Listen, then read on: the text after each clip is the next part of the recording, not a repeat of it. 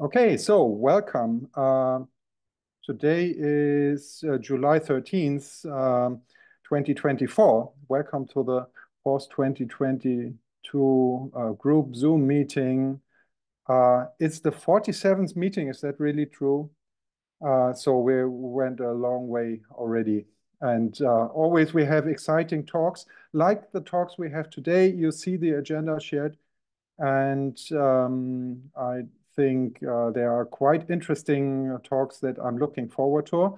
Uh, not my talk, I know what I will talk about. But anyway, later on, you can also hear me talking. Um, yeah, so without further ado, I would say welcome everyone. And uh, uh if uh, uh, George Oral is here, then we can start with the presentation there. So I'm, I'm actually not sure. So are, are you with us? I Yeah, I'm here. Okay, great. So I will stop sharing and it's your task then uh, to share whatever you have. And uh, we're looking forward for a interesting uh, presentation. So please yeah. go ahead. Okay, let me share my screen.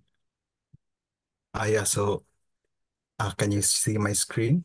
Yeah, we see that color ah. script.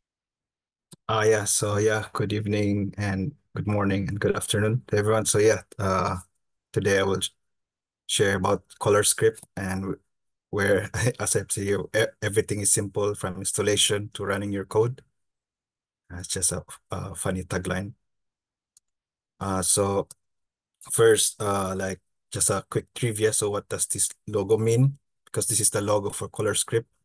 So uh, yeah, so this uh, this character is actually color written in Baybayin, and where color means color in Filipino language, and Baybayin is an ancient Filipino script, so that's why it's color script. And uh, so yeah, so what is color script?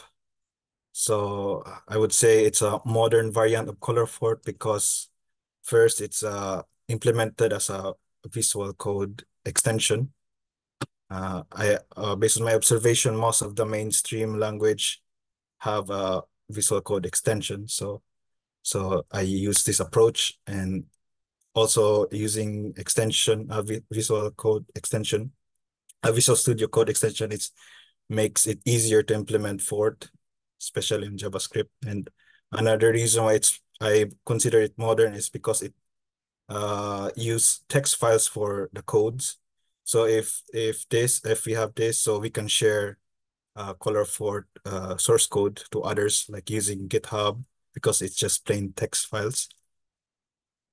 And uh, so I would say also it's a hybrid hybrid Forth because some words comes from colorForth like these and others are from standard Forth and others are just uh, words that I implemented based on uh, non-Forth uh, words like um, micro time or timestamp, or I have this uh, checking for string or checking for num. And another reason is, yeah, numbers are written as signed integer or hexadecimal or float. And for strings are just uh, enclosed with single or double quotations. So, and another reason, uh, another is, uh, yeah, color script is uh, for intended for scripting. So hence the name color script script. So uh, what I would uh, like to mean scripting is, yeah, we can use this for rapid prototyping and data parsing and code or data generator, or um, maybe in the future uses test, test automation. And I would say in general, we, color script can be a alternative for Python, JavaScript, Lua, or Ruby. And uh, so, yeah, uh, what are the colors in color scripts? So we have green, for compiled words. It's like uh, usual yellow for interpret word, inter gray for comment. So this is different from the usual colorForth. And uh, blue, I added blue as constant, and uh, and magenta as variable. So we have constant and variable now. And uh, for red, it's yeah defining a function. And this white on black, uh, white for dark theme and black for uh, light theme. So it's just uh, because it's still a work in progress. So there's some invalid formats, meaning um, what if you use uh, a string or number as a a name for a variable or constant, so it will show white because it's not a valid name or word for a constant. And another case for white words is if the combination of uh, characters for a word is not yet uh, uh, not uh, registered for the regex uh, for the uh, coloring of syntax. So yeah, this will happen. So for this case, I ask uh, people to inform me if this uh, white word will occur. So how are the colors represented if it, it's in text files like ASCII? So the approach I use is uh, like using the spaces. So it's like indenting like in Python, you uh, it will uh, count the spaces. So for green, there's a prefix one space. So if there's a space, a prefix one space in the word, it will be colored green. For yellow, two spaces, and for gray, three or four spaces. And uh, for blue, uh, postfix one space. So it means that after blue, it will be a green word. And uh, magenta postfix two spaces. So it means after magenta, it will be yellow. And red uh, postfix is three or four. So it means after red, there will be a gray, which is a comment.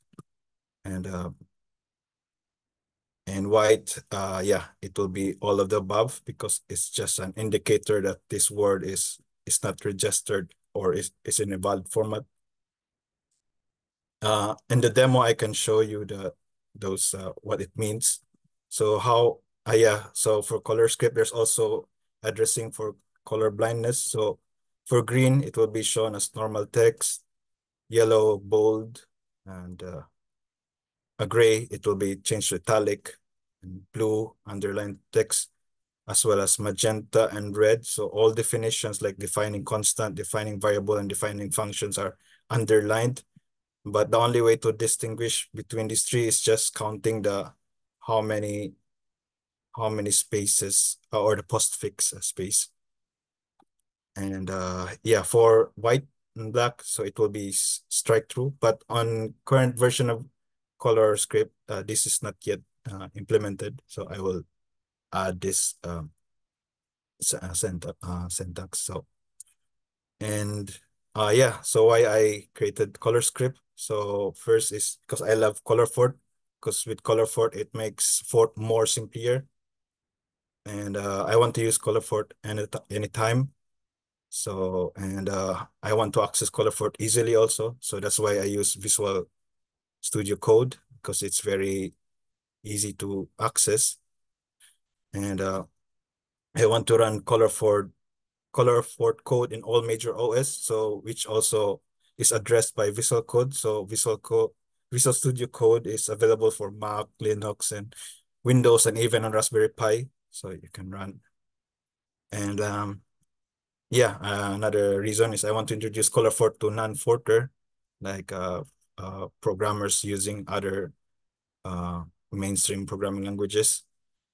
So, and uh, yeah, I want to share colorForth codes, uh, which is possible with ColorScript because the codes are in just text files. So we can use Git, Git repo to share.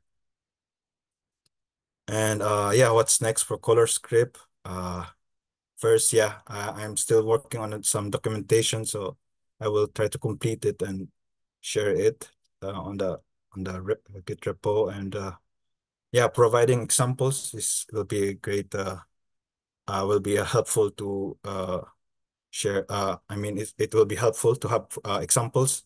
So I was planning like uh, solving the Advent of Code 2023 or the will 1 billion row challenge. So yeah, it's just part of the plan and also uh, adding necessary or requested words because there's still some like arrays, it's not yet implemented or writing to a file. And there were words that are not like emit or yeah, some other necessary words. And yes, yeah, syntax highlighting on GitHub. So as of the moment, the syntax highlighting is only available in your uh, Visual Studio Code. So I want to to uh to add this so that uh, other users without uh, they can see the colors of the of the uh, code even if it's still on the GitHub uh, browser. Um, and yeah, standalone virtual machine. So I I plan to have a, a way to run your color script without uh, not under the Visual Studio uh, Visual Studio Code uh, IDE. So yeah, and uh, hopefully yeah I could uh, add a debugger. So yeah, I think uh, that's it for my. So if there's any questions, uh, I could answer the questions. So yeah, thank you very much. Are there any questions? So please go ahead and uh, just open your mic and uh, raise your question. Do you have any sample applications? Uh, as as of the moment, uh, no. But on my demo, I will just show some test test uh some scripts that I use for testing the color script. But uh, yeah, that will be my plan to not just uh just solving uh, those uh, advent of code. So I, I plan to make some uh, real or useful uh, applications so that, uh, yeah, it will be helpful to others. Mm -hmm. So most of the application I'm aiming is, yeah, like for, uh, as I mentioned, uh, color script is for scripting. So my plan is like uh, CSV parser or JSON parser or maybe I can also uh, once I have the word for connecting to HTTP, I can I can also plan to uh, make some some applications to connect to uh, servers, like testing some APIs or yeah, it's mostly uh web uh web based or or related to web because I think that's uh based on my observation, most Forth is on embedded. So I think with color script maybe we can we can uh, try uh, we can try add Forth on the uh, uh, on this field of software like regarding web or mm -hmm. so yeah mm -hmm. so I, I have a question uh, so do, do you completely rely on color as markup or do you also intend to have something like uh, special characters or different different fonts or different font weights like underlined or boldface uh, to display things or to, to mark up the different parts. I think of colorblind people. And we know that ah. um, Howard Howard did uh, some things in the original colorForth uh, to, to switch between uh, traditional syntax and color syntax. Uh, as of the moment, I just uh, I plan just to use those what I have like uh, normal text and uh, bold because it's it was uh, an easier approach mm -hmm. like just uh, because on the visual uh, Visual Studio Code uh, for the syntax highlighting they, they, they, they have a, a different tokenizer engine so you just provide a regex and you just provide uh, what what color and what's what what uh, styling like is it normal and bold but if uh if I follow the usual colorForth way, like for colorblind, you just add colon to the red words, and mm -hmm. I I think it will it, it's doable, but I think it, it will a bit complicate my approach, and I don't want to move the shift the words or add insert the colon or so. Yeah, I just yeah, want yeah, I my plan is as simple as possible. So yeah, I yeah, which that... is a good approach, and I, I mean, you can add support for it maybe later, uh, if if if you think that's reasonable. Mm-hmm. All right. Fantastic, fantastic. Thank you, thank you, Josh. Uh, I just like to say I'm excited to see more people doing things with colorForth. It's it's great. yeah. Yeah. Yeah. Um, I think I can show you. I can show some a quick demo uh, maybe I can show the how if I if I still have time uh, or sure. go ahead. Uh, okay, so uh,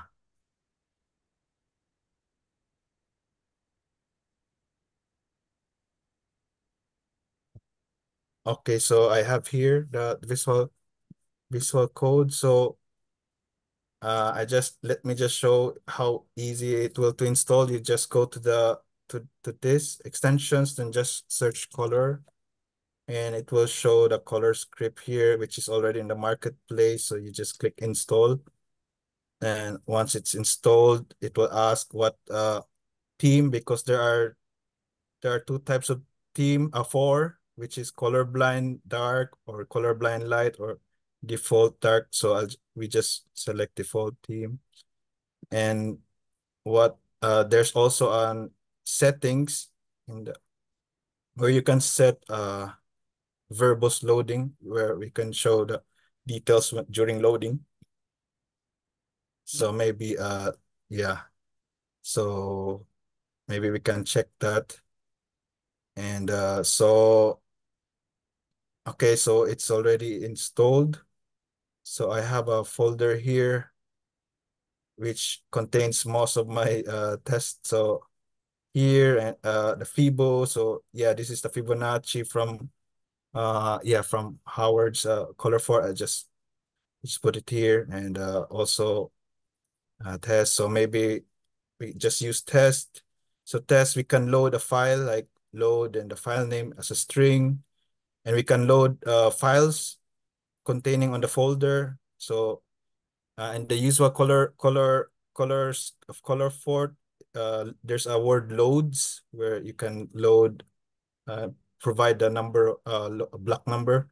But for here, we just use the, use the same word load, but you should put all the files inside a folder, then it will just go through. And uh, so yeah, if I run this, so, sorry.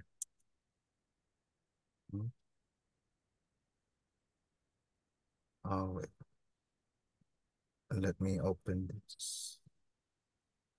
Oh, something wrong. Ah, sorry, let me try to, maybe I need to close the visual code after, uh, yes after install. Just, uh, sorry. so yeah, I just close Visual Code and load it. So so once, uh, yeah, this should change the color script. So let me try run again.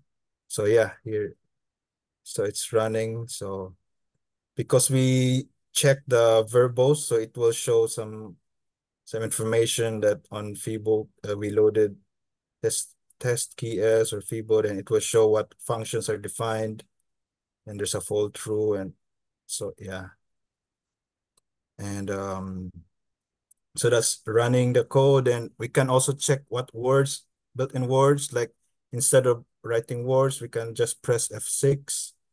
So these are the built-in words with their yeah, information and even the user-defined functions, it will also show here from which file and these uh these uh stack uh yeah these these are also uh, shown. This is based on the comment on the on the uh function. So like here in test key s print i then data num. So if we check the code for print i, so here then uh, stack effect is a comment, which is gray. So this is how we define a function. That if you see it's a red red uh, word and there's are there are three three uh, spaces. So if we like if we move like for here four, we can we can uh change this to yellow, just add one space. And if you want to comment out, just an add another space. And if you comment out the whole line, you just add, add another space because there are four spaces now. Uh, so if you want to go back, so yeah. And another feature, so we have words and yeah, for colorblind, just press, I think it's F7. Ah, F, ah, yeah, F8. So if you see the yellow becomes bold and the and the red becomes underline and the gray becomes italic if I Mhm. press F6. So, and uh, so yeah, I think that's uh, ah another thing is if you can also um uh you can also run uh words uh like uh in terminal. So I think it's uh let me color script. So yeah, executing words like uh, F4. So then it asks for words to be executed. So we know that Fibo is already loaded, so we can also run here five and Fibo. So there's no need to put the uh the color tags like the spaces. It's just a normal spacing. So five Fibo. So yeah. Ah. Wait, is it loaded? It's loaded. Um, why is it? Um, ah, it's not Fibo, it's Fib. Uh, F4, five.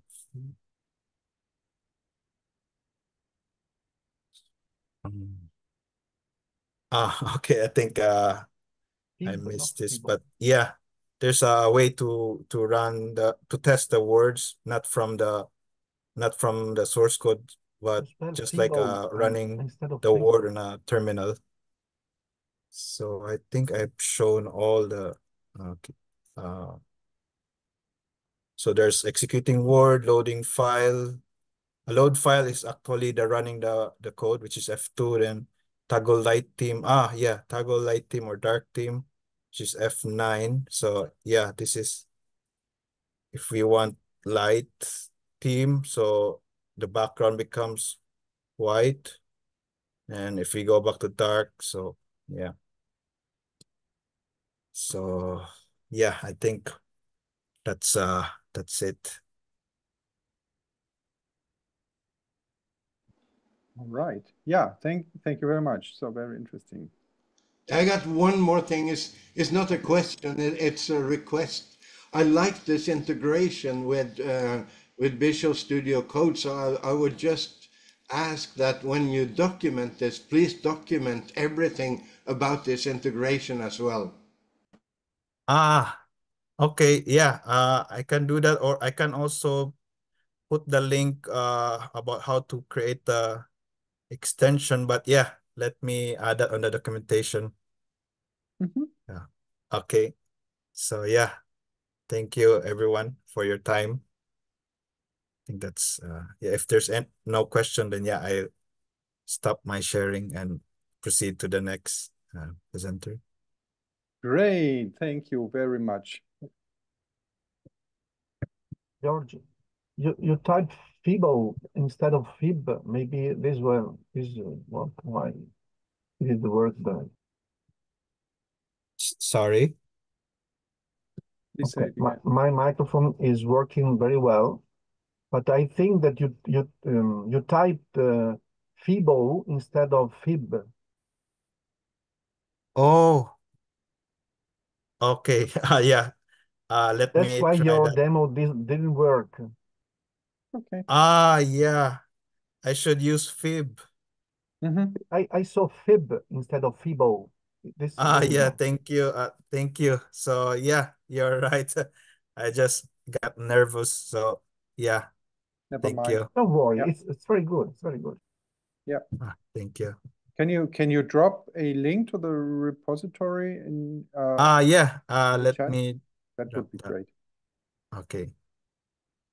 Thank you. Yeah, so George, thank you very much for your interesting presentation, and we uh, will proceed. And our next speaker is Liam. Liam, Ruben? Yeah, you will tell Hello. us. Liam, Liam. that's me. Okay, yeah. And we learn about uh, a computer that I've been looking at for a long time. And um, eventually uh, I get hold on uh, uh, one of the few ex existing examples or existing uh, machines that are still there. Um, very, very interesting machine built by Jeff Raskin, but you will tell us all about that. and I um, uh, try. the and cat. And uh, Liam will, yeah, we're we're looking forward, uh, and especially I'm very excited to to hear about it. Well, I I hope that I can uh, tell you some some interesting things about this machine. So, uh, hi, uh, my name's Liam Proven. I am the Linux and open source reporter at the Register, a British uh, computer news uh, website. Um, although I'm actually based in the Isle of Man these days. Um, um, recently, the um, editor asked me to do a retrospective on the Macintosh computer, which was released uh, 40 years ago in January. And when I uh, wrote about that, that also led me down the avenue of what inspired the Macintosh. Um, now, I myself, I've I've been writing for the Register full time for nearly three years, but as a freelancer for about 15 years. But I'm I'm quite old, and I'm a, a I've been a techie since the 80s. I started out on uh, home computers, and my first was uh, the first one that I owned was a Sinclair Spectrum. I have as a visual aid a Spectrum Next here, which I think is going to uh, feature in the in the next talk as well. Um, and um, um, I much enjoyed playing around with BASIC, but I, I never really made the transition to Forth myself. It was, of course, one of the um, other most significant languages on in the 8-bit era. Um, but my career led me in a different direction from programming into uh, networking and building systems and um, installing and eventually into documenting uh, computer systems. And I, I never really moved on much from BASIC myself, but I think that BASIC had some attributes which are forgotten now. Now that languages like Python are, are very trendy, and for Unix people, Python looks very simple and clear, but there is some complexity that's inherent in Unix computers, which um, Python makes you confront and learn, and basic and indeed contemporaries like Forth didn't. And that is also true of the not merely of the Macintosh, but the Macintosh's forerunners. So the Mac happened because um, Apple's previous uh, computer, the Apple Lisa, uh, turned out to be a flop. It was a pioneering machine for its time. It was launched in 1981 and it was the first mass market computer with a graphical user interface. Um, but it was also a multitasking computer. It came with a hard disk as standard and it did away with a great deal of the complexity that was common in, in computers at that time. The Lisa didn't really have programs. You simply tore off a piece of stationery from a pad. So if you wanted to create a document, you tore off a piece of paper from a stationery document and suddenly you could enter text into it and save it. You could tear off a piece of paper from a drawing pad and then draw on it and save it without ever having to know what program you'd be using. The Mac had to throw away a lot of that to fit it into a machine which was a quarter of the price and could cope with a single floppy. But the Mac started off as a very different project from a guy called Jeff Raskin. And Raskin is sadly uh, dead now. He, he died over a decade ago. Um, he was one of the team at Xerox PARC that uh, did, worked on the Smalltalk programming language and object-oriented uh, programming and the the original uh, windowing interface. He, um, you know, that, that project also included some very other important technology. And later on, he went and got a job with Apple and he is the man that persuaded Steve Jobs to visit Xerox PARC and see the Alto machine that Xerox were working on. Raskin is the man who gave Jobs the idea that led to the Lisa and the Mac. Raskin was working on his own uh, idea for a computer at the time within Apple. Um, and he named that project after his favorite variety of apple, the fruit, which is an apple called the Macintosh. And he named his computer the Macintosh. Uh, unfortunately for, for Jeff Raskin, uh, Steve Jobs got taken off the Lisa project that he had inspired and design, aimed at being a graphical user interface computer. And Jobs took over Jeff Raskin's project, the Macintosh. Raskin was very unhappy with the way that Jobs was taking the project, so he quit. He started his own company called Information Appliance Limited. He designed a computer and looked for someone to build it. And that compute that company was Canon, the Japanese word processor and printer manufacturer. And the computer that resulted was the Canon Cat. Now, they only sold in the region of about 20 to 50,000 units of Canon Cat. Um, they're pretty scarce these days, but a very interesting uh, vintage computer expert, a guy called um, uh, uh, Cameron Kaiser wrote a blog post early this year, and I'll, I'll put a link in the chat. This was kind of the inspiration and the germination of my article. He picked up a Canon Cat quite inexpensively on eBay, and he documents the process of disassembling it, which is not trivial, and uh, replacing some parts of the floppy drive to get it working. And that led me to write an article about the Canon Cat for the Register. Um, and that's what led to this talk happening. Um, the Canon Cat represents an avenue that computing could have taken but did not. And in a way, the industry today is circling back towards this idea, um, but doing it in an extremely inefficient and complicated way. The cat was a very simple machine. I, I don't have any presentation or anything for this, but I'll, I'll give you some links to, to follow up. Um, the cat was a machine that had a very early graphical user interface, but it didn't have any kind of pointing device. It was entirely driven by the keyboard yes, by all means, that that's the the register link there, and you can do whatever you like with that. Um, and um, it added two keys to the basic keyboard design, which were called leap. Um, the leap key on its own um, moved forwards or backwards a word or a, a letter or a word or a sentence or a paragraph at a time but you could also hold down leap and type some letters and it would then search for the preceding or following instance of that word.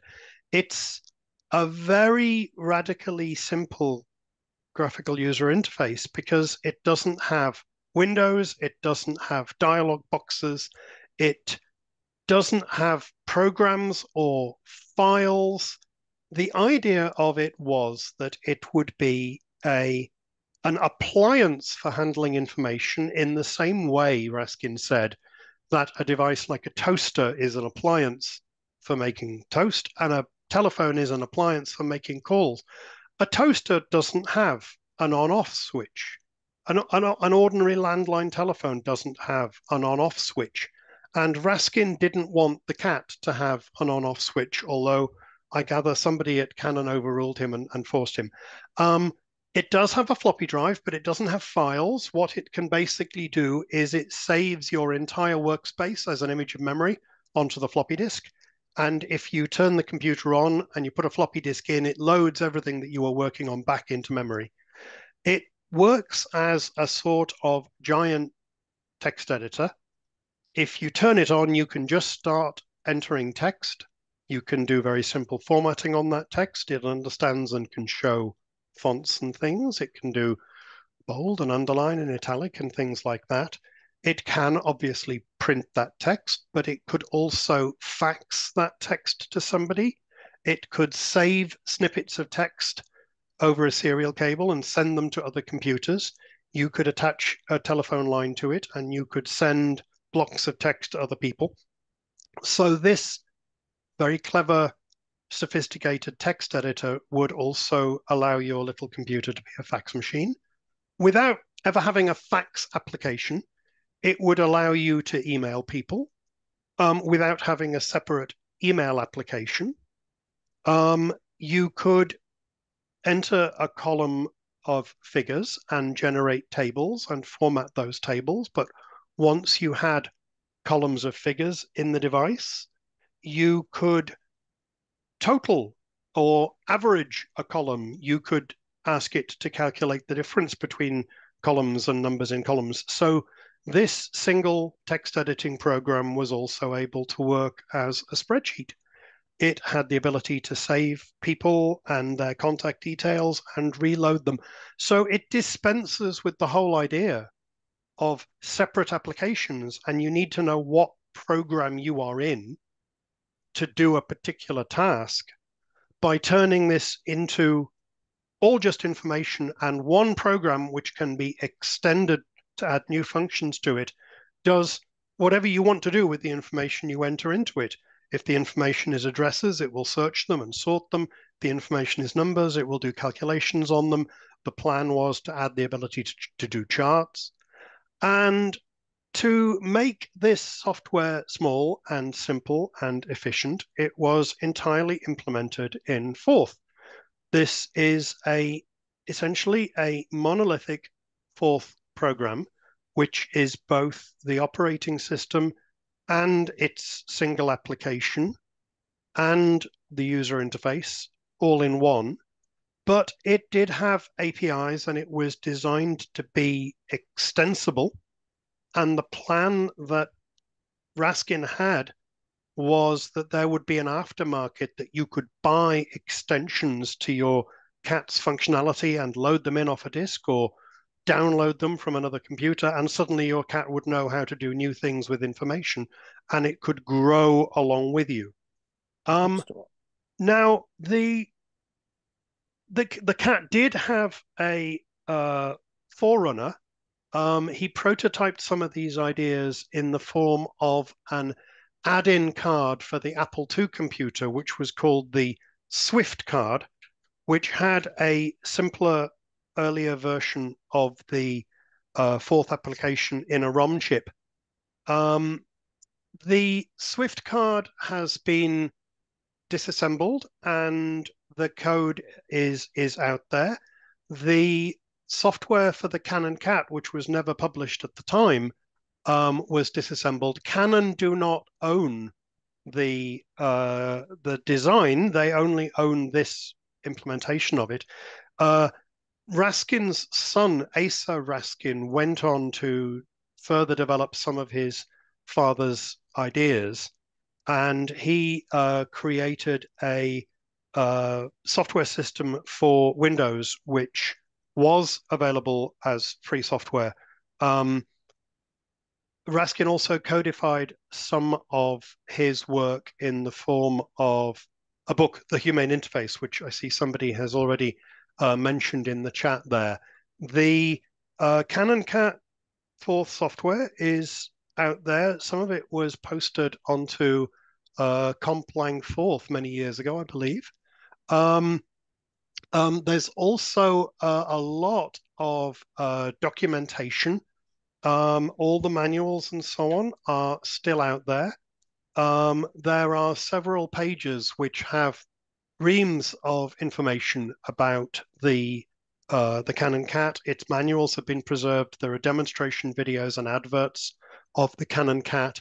There are even some uh, prototypes of what Information Appliance Limited hoped to do next, including the uh, Swyft laptop, which was a laptop before the ideas for laptops had really been formalized and uh, there are pictures of it on that page I, I, I just linked to with um, um, um, an LCD screen and uh, a keyboard with the leap keys on either side of the spacebar. Um, given that the software is out there now. I think it would be a fascinating project. That there is at least one Canon Cat emulator. It's been implemented in JavaScript and it's available on the Internet Archive. And if you go to the Internet Archive and look at the Canon Cat uh, manuals and um, the video cassette that was uh, uh, in the in the box with the machine with the demo, you can actually fire up a Canon Cat instance in your web page and play with it. Although without the correct keyboard and so on, I think it's a little bit impenetrable to use. But there is um, the software is out there.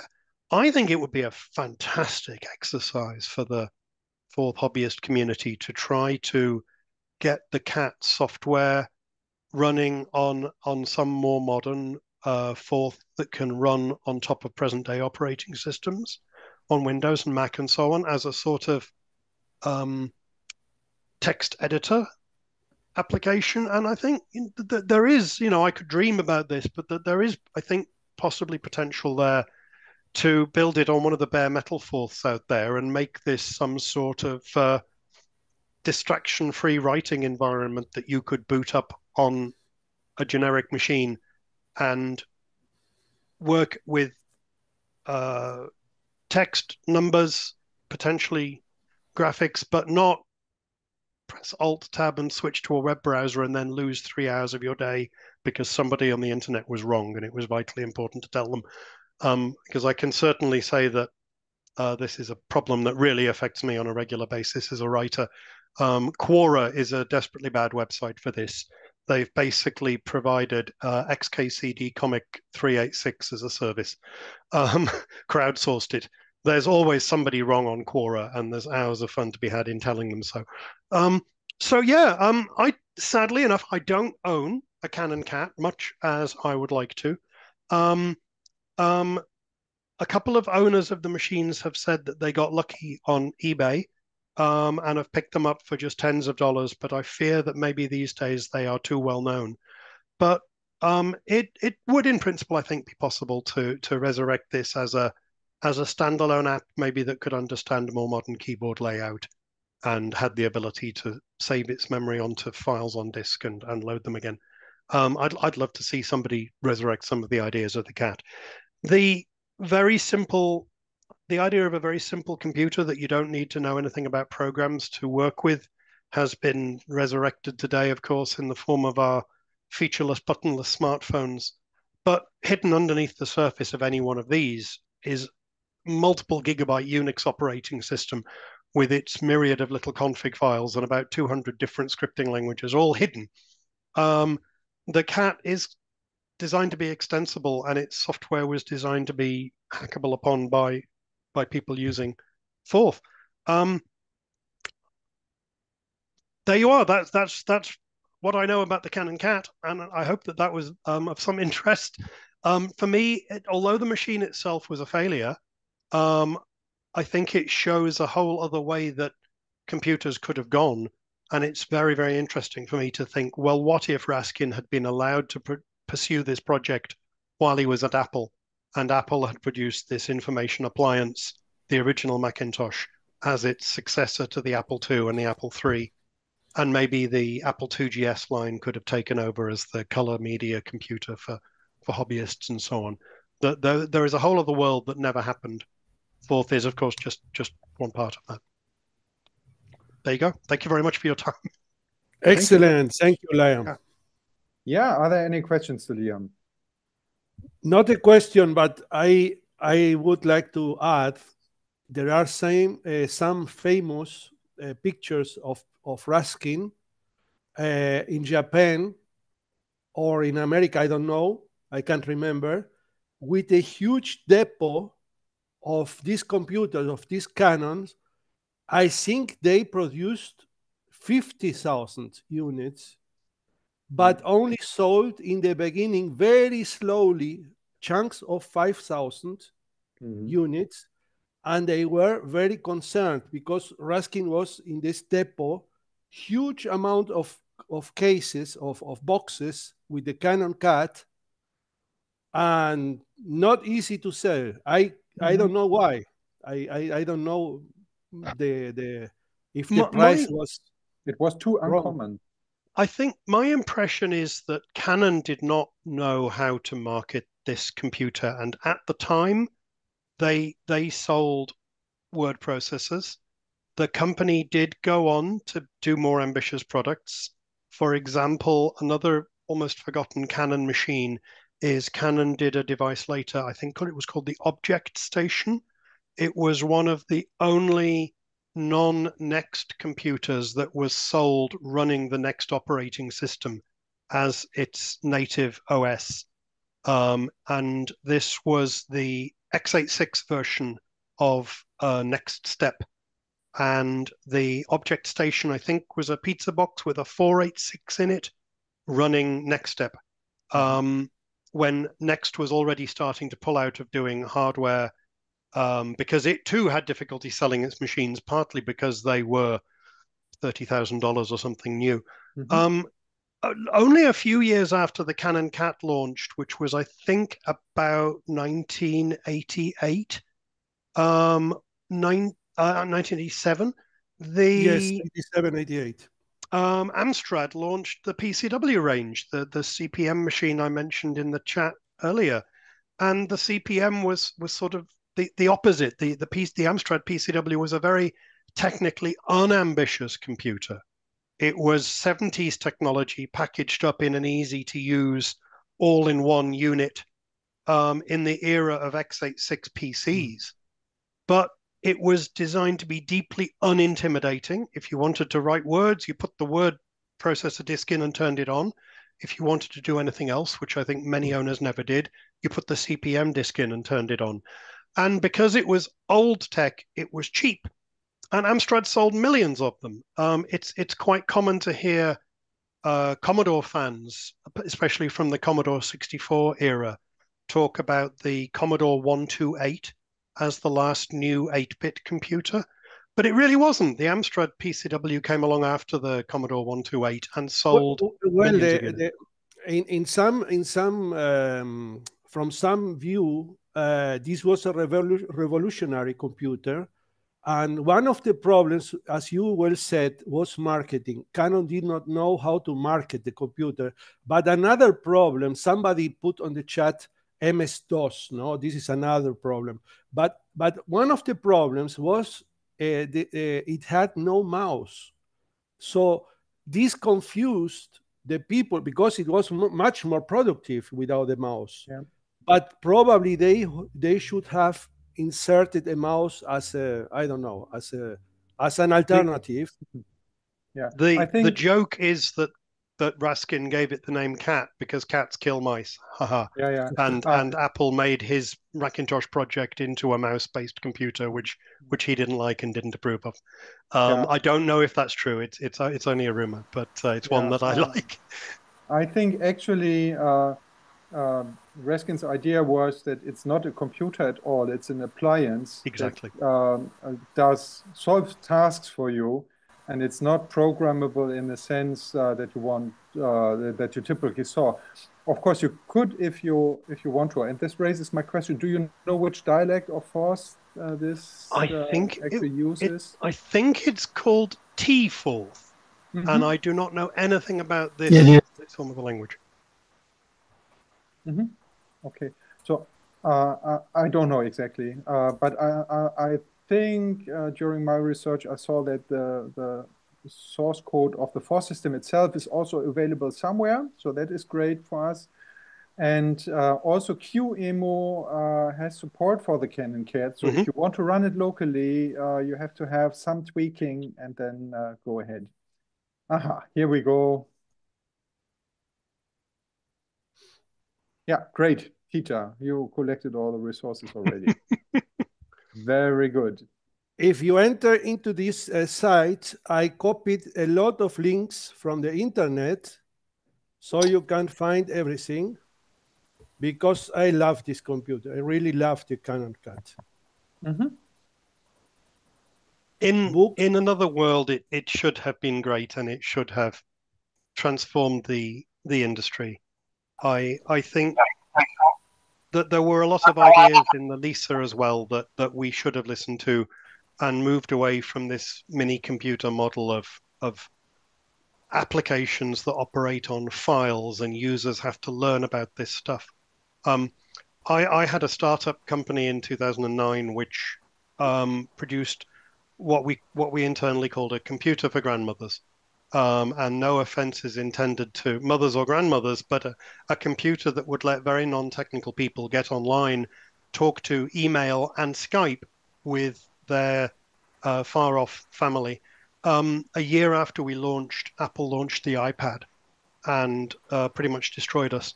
Um, but uh, a sign of that was that my mom has one of these machines herself, obviously. Um, but a couple of years later, when when the company was winding down and there were no more software updates, I got her a used iPad to see if she'd be able to use this. And she just picked up the package and from the size and weight went, "Oh, is it an iPad? Cool."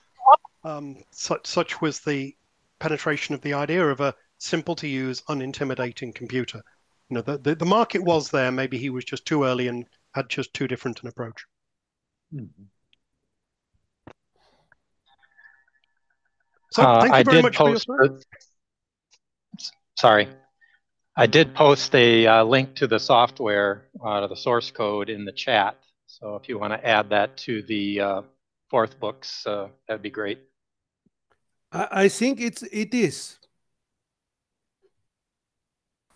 Mm-hmm. I think it is in the, in the in the in the books, but if not, I can link it, of course. Uh, uh, it, I don't know if if Liam uh, explained that all this the interface was a hypertext, and when you um, when you uh, power on the computer, it would go immediately to the last text you were typing or working with, you didn't have anything to do. It was just a working station. It was nothing to play around or, or pressing buttons, nothing. It was automatically. Uh, so it was a fantastic machine for, for its time. It was really, really many, many years ahead. I completely agree. Yes. Um, I, I do hope I can find one one day, but uh, but these days I am a a married a married man with a with a four year old daughter, and my wife is uh, sadly not interested in my uh, hobby of collecting old and interesting computers, and feels that I already have too many. She does maybe have a point there, but an, uh, both a next computer and uh, a Canon Cat would be very very high on my wish list.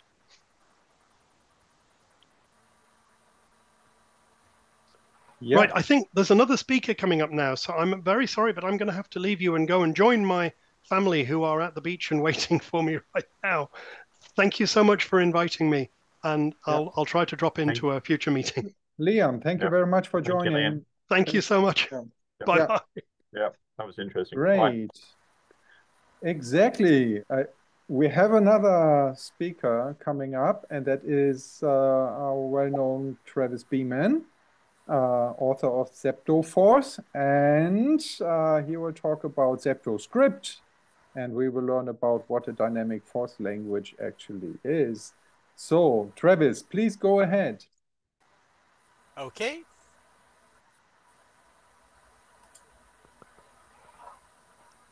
Share my screen.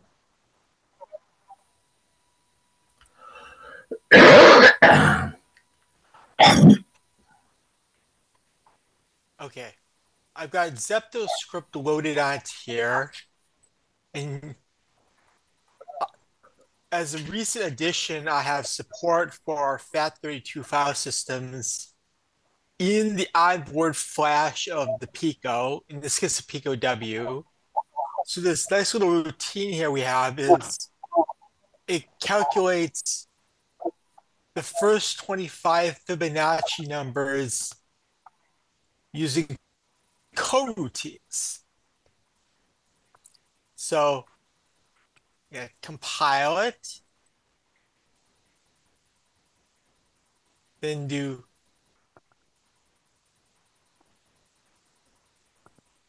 like this, which is this is a very trivial test. And as you can see, it's using suspend and resume to generate the sequence of numbers for our nice friendly coroutine Fibonacci thing. And but anyways, the key aspects of ZeptoScript is that it tries to be as Forthy as it can be, or at least zeptoforthy as it can be, while uh, providing dynamic typing and garbage collection. And because it's garbage collected, it can allocate anything it wants to a heap and you don't have to worry about it. Like, for instance, here we are def defining a uh, what I call a cell sequence, which it's a it's an array of values, but it's distinct from an array in that it is fixed size. It's a primitive in ZeptoScript, whereas arrays, which are resizable and all that, are built upon that. And then let's go and uh, filter it so we only get even values.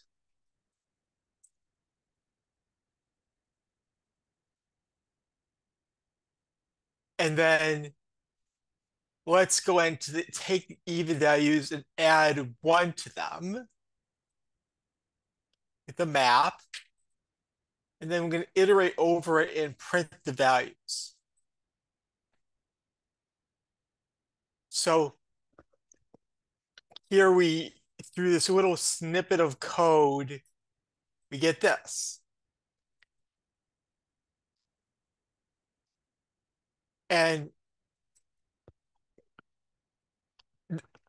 as you can see, the aside from this, which is a bit of syntactic sugar to make defining things like this easy, uh, and syntax is definitely Forthy, but it allows you to do unForthy things like out keep allocating uh, sequences of values, filtering them to create new sequences, mapping them, and all that kind of stuff. And now I'm going to search the uh, file system of, or not search, but list the file system of on this Pico here for a second program that I have, which this program is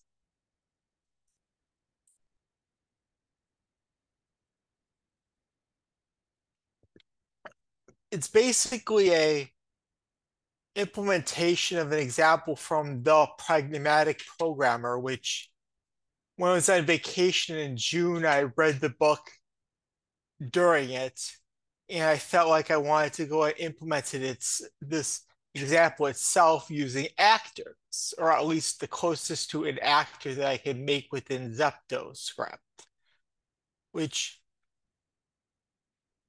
this is using ZeptoScript's uh, multitasking functionality, which unlike Zepto fourth multitasking, it's single, uh, it's that it runs within a single Zepto fourth task, but uses uh,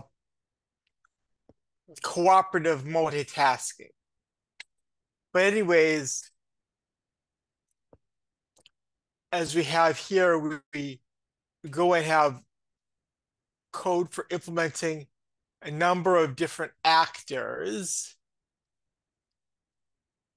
like a wait, like a like a customer,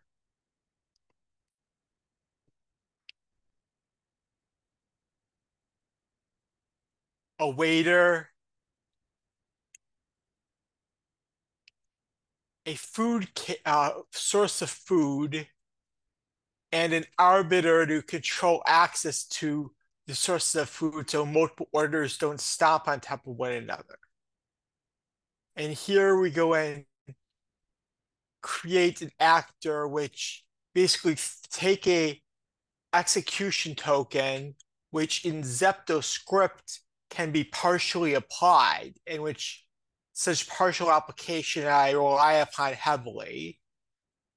And it creates an unbounded channel for it, passes the unbounded channel to the uh, passes execution token after forking, and then returns the execution, the unbounded channel to the caller.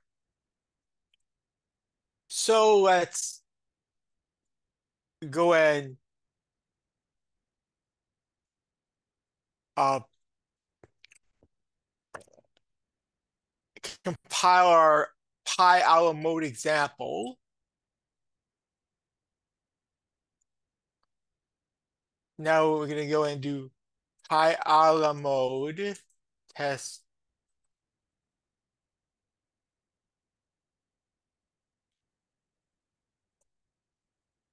And here's the output that Devin shows everything it's doing here. Anyways, beyond examples like this, ZeptoScript supports things like a variety of different data structure types. Like, for instance, one type is a map.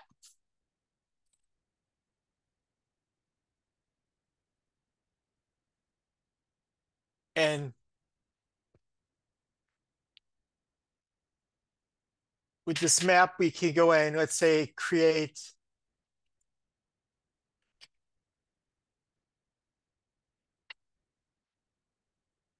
a number of different values. This is what I call a generic map because it uses the uh, there's a set of uh, methods in the object orientation layer that are designed to be used for just about anything, such as converting them into strings or hashes or testing their equality in a generic map because you don't specify such words, it uses the default ones automatically. Now we're going to create a global and say my map, and then I'm going to go and add the this map that we created to that. And then we go in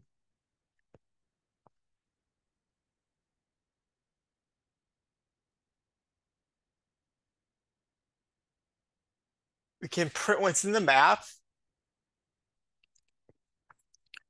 Or we can, let's say, test for, we want to get bar. We can get that. Or another kind of data structure we support is sets, which are like maps, except for that they don't have uh, they don't have key value paired to just values.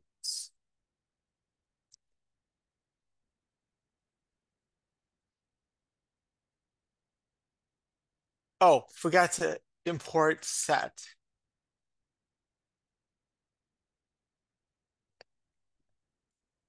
And then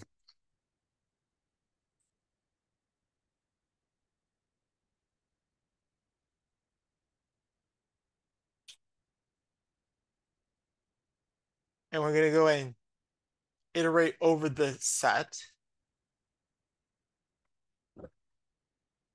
And it also supports, in addition to uh, cell and byte sequences, and cell and byte slices, which a slice is basically it's a range of a sequence except for it doesn't you can have multiple slices all point to the same underlying sequence. Let's say we that that we have arrays we have maps we have sets we have queues which are used heavily by multitasking. We have coroutines. We have bit arrays or bit sets more like uh,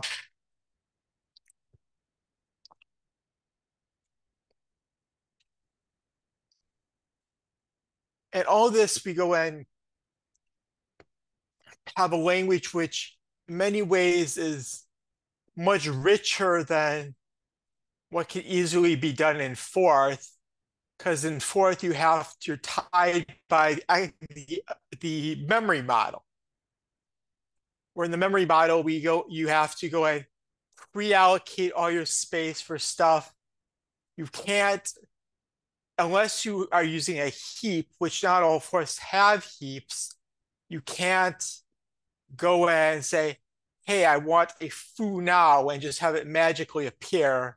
You have to plot how you're going to get memory for the foo and then tear it down if you're ever going to be done with it and all that. But because this is garbage collected, that's not an issue.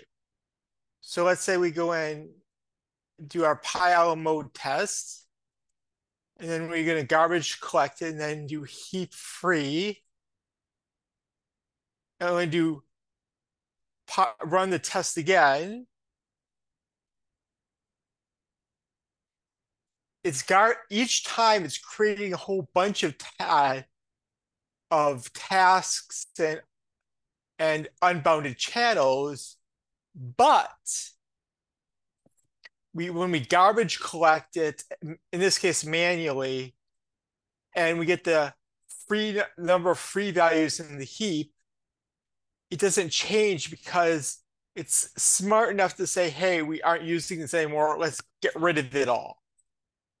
Without the user having to worry about, oh, how am I going to get rid of these tasks when I'm done with them or anything of that sort.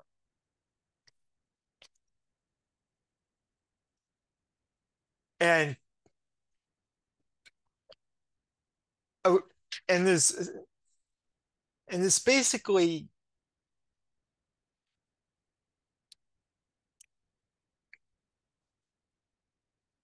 how I put it. You you get all of this for free. Whereas let's say in this for this is not an application for Zepto script, but rather for Zepto Forth. Uh, Zepto Ed, which is a text editor that I wrote. In Zepto Ed, I have to manu not just manually allocate all the space I need, but also manually free it. And if I don't, there'll be memory leaks, which I have run into with it, which have been since been fixed. But in general,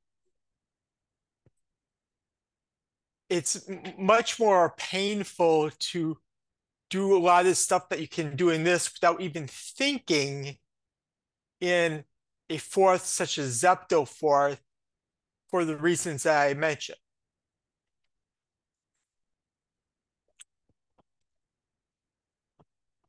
So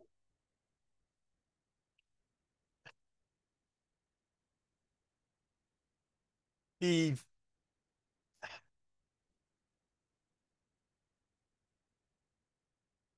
So I think that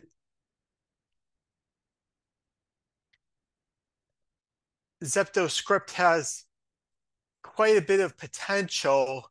Still in its infancy stages. I haven't even made any releases for it yet because I still keep on changing lots of stuff around them. Like yesterday, I decided, hey, I don't want to go and use uh, cell sequences in the form of records as the basis of my arrays, sets, and maps because it required a whole bunch of hackery to have words like show and hash and equal work with them properly. So I pulled it all apart and I reworked that so they would be their own uh, data types underneath it all. Well, specifically, they'd be their own classes. And there is one thing I should sh mention is this does ha this has an object system, but it's not forced upon the user. But for some examples of how the object system works,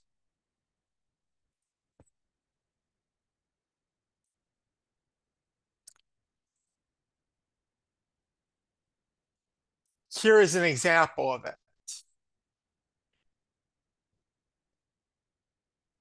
And as you can see, methods do not belong to any particular class. And also, classes do not have inheritance, unlike many OO systems. Rather, any class can implement any number of different methods. Essentially, they're duck types. Uh, and while uh, classes can have members, like this one, those members are local to the class. They cannot be directly accessed outside of the class. And the the idea is that if you want to expose them, you would write accessor methods for pulling the values out or setting the values on the objects. So like here we go and have have each of these actually creates a pair of accessor words unto themselves that are only readable for, or usable from within this class, such as this, where we set it or we get it. And we also list the implementations for each of these within the class. The new method is a special one because it it when you declare a class, we go in, get a make foobar uh, a, a, word that's automatically created, which when called, it instantiates a member of that class and then calls this with that uh, instance. Anyways, I've been probably all over the place here, so and probably taking up a good amount of time. So I'm setting this over for any comments or questions.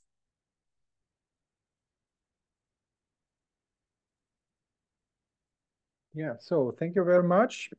And uh, are there any questions to Travis?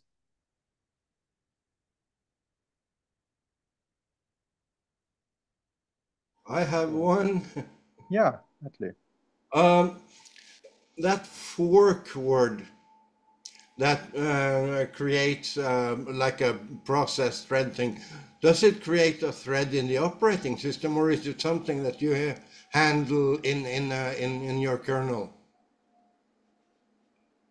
Oh, I should I should have mentioned Zepto Forth runs in bare metal, but you could say that Zepto Forth is the operating system in this case, and fork does not create a Zepto Forth task. Rather, it creates a cooperative task within the Zepto script environment, which is distinct from Zepto Forth tasks because they're much more lightweight and they are implemented with continuations actually.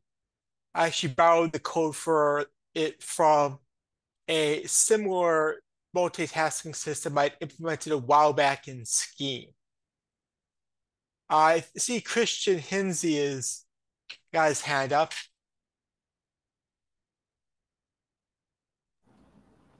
Yes, I hope my microphone is working. Yes. I can hear you. Okay. So I got stuck on one definition of a word, okay, when you started talking about uh, ZeptoScript.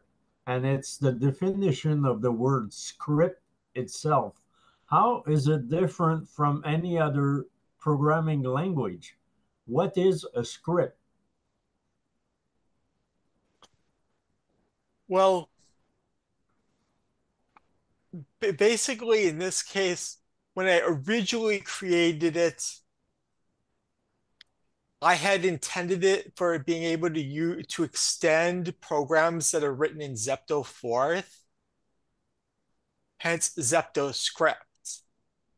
Even though it's sort of taken a life of its own, and I haven't actually embedded it in any applications for Zepto Forth as of yet.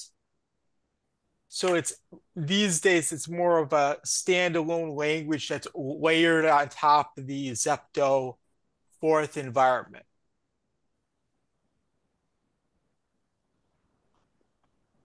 So uh, Zepto script is essentially a kind of application written in in Zepto Forth.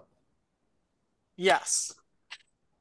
And this application has the purpose of simplifying programming by providing specialized word or more easier to use word, more or less. Well, it, pro it provides a whole new language environment. And in many ways, okay. it is much, I find it to be much simpler to work with than Zepto Forth. The only problem with it though is it's much more memory intensive, which is actually in many ways uh, a result of a conscious design decision I made. Because in a different uh, language that's for embedded systems that's garbage collected uh, MicroPython, they have the problem of memory fragmentation, where like someone will make their uh, weather station in MicroPython. And after running for a few weeks, it fails. And then they're wondering, hey, why did my weather station fail? Well, it kept on allocating and getting a garbage collecting memory until memory became so fragmented that it could no longer allocate more memory due to the fragmentation. And the so the decision I made was to use Cheney's algorithm. It's simple, it's fast, it's the speed of garbage collection is determined by the size of the working set rather than the size of memory. The only cost it comes at is that half of your heap can be only used at a time, which is a, to me at least, a small price to pay considering that Cheney's algorithm, as it's a compacting algorithm, is basically completely immune to fragmentation.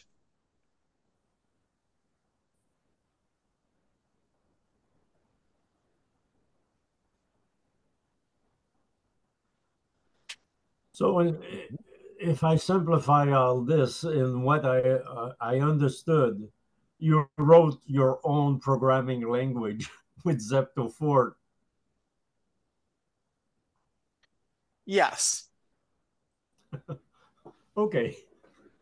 And uh, from what I looked at, it was mostly text. Okay, but does it, it remain? It, it still is interactive. Yes, it is. You could end. It is okay. So I was just wondering if it was a kind of compiled text, but it's it's really interactive. It, it compiles just like any Forth does. It actually uses the Zepto Forth compiler underneath it all rather than going and implementing a new compiler from scratch. Okay. So you clarified quite a few points for me. Thanks a lot, Travis. Mhm. No problem. Yeah, thank you very much. And are there additional questions? I, I have I have two questions, Ulrich. Go Um, ahead. Yeah. My, my my first my first question, I guess, is so this seems like um quite a useful addition in terms of um if you want to do sort of high level work. How do how do the the how does the rest of humanity learn about about ZeptoScript? I mean, effectively, I mean, in a lot of ways, you know, it's got similarities to Forth, but it's got a lots of differences as well.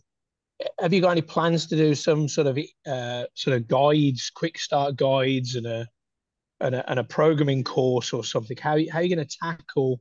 I mean, I, I know that this is sort of some of it's still fluid, so it's always tricky doing documentation when it's still fluid. Uh, I guess my second question is about the interoperation between um, Zepto Forth and ZeptoScript. So, it, so it seems that some problems or some parts of a problem, it's it's really good to use Forth because it's it's quite low level, it's quite close to the machine. But other parts of the problem you want to do in ZeptoScript because you've got maybe some complicated memory management. I mean, if you've got networking is often when you've got complicated networking like a web server or something, doing it in Fo- it's possible to do it in Forth, but managing that sort of memory and all that sort of stuff can get tricky. So it seems like there'd be a bunch of applications where you'd want low level primitives in Forth and uh, sort of high level stuff written in ZeptoScript. Those are my two Uh, yes, you can do that. Okay. Uh, the uh, the first question, I've written documentation for it and I wrote a few wiki pages for it on the ZeptoScript GitHub. And that sh- should, the wiki pages really cover a lot of material regarding it. And as for the second question, uh, yes, this you can go in write code that you can call from in Zepto Forth from Zepto script. And I already do that uh, quite heavily. Like for instance, in I'd say execute this. The layer for implementing the underlying media for the file system here is implemented in Zepto Forth. And then I call it from Zepto script. So yeah, you can definitely construct parts of your program in Zepto Forth and then call them from Zepto script. The only gotcha is that you have to be careful. You can't really call from Zepto. You can't go the opposite direction very easily and call Zepto script from Zepto Forth because even though in many cases it's safe, it's not 100% safe because the garbage collector for Zepto script uh, it examines the contents of both the data and return stacks. And it goes and sees are there any uh, pointers into the uh, heap space of ZeptoScript. And if there are, which basically in this case is, is there any values that are cell aligned within a specified address range? It assumes that they are indeed uh, allocated blocks of memory within the heap. If they are not, then bad things happen.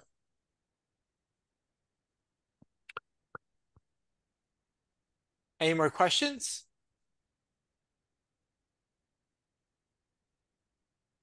Okay, that doesn't seem to be the case. So Travis, thank you again for the great talk. And definitely we should look at ZeptoScript and see uh, what uh, additional features we can explore. Thank you very much. So today is the day of dream machines. I, I don't know whether you know the book of uh, Ted Nelson, uh, Computer Lib Dream Machines, which was very popular uh, in the last century. Um, looked at uh, computers and the way they should be, not the way uh, it actually turned out today. And um, so uh, we will have a talk uh, after we learned about the Canon Cat, now about the Spectrum Next computer. And uh, so Matteo uh, Vitturi will tell us about that. Yes, and yes. I'm also very curious uh, because I have yes, a yes. Spectrum Next on Let my me, own. let me, okay. I uh, invite you to um, get to to to to show to um, to magnify my my screen because I have no interface. I I just uh, put in place uh, a webcam to to see my I, my I will my do it like this. I'm So sorry, but I will I will buy in the future. I hope it, it can you can see everything. It's quite large, but uh, okay. This is uh, I was toying I was playing around um, and already loaded RP zero interface.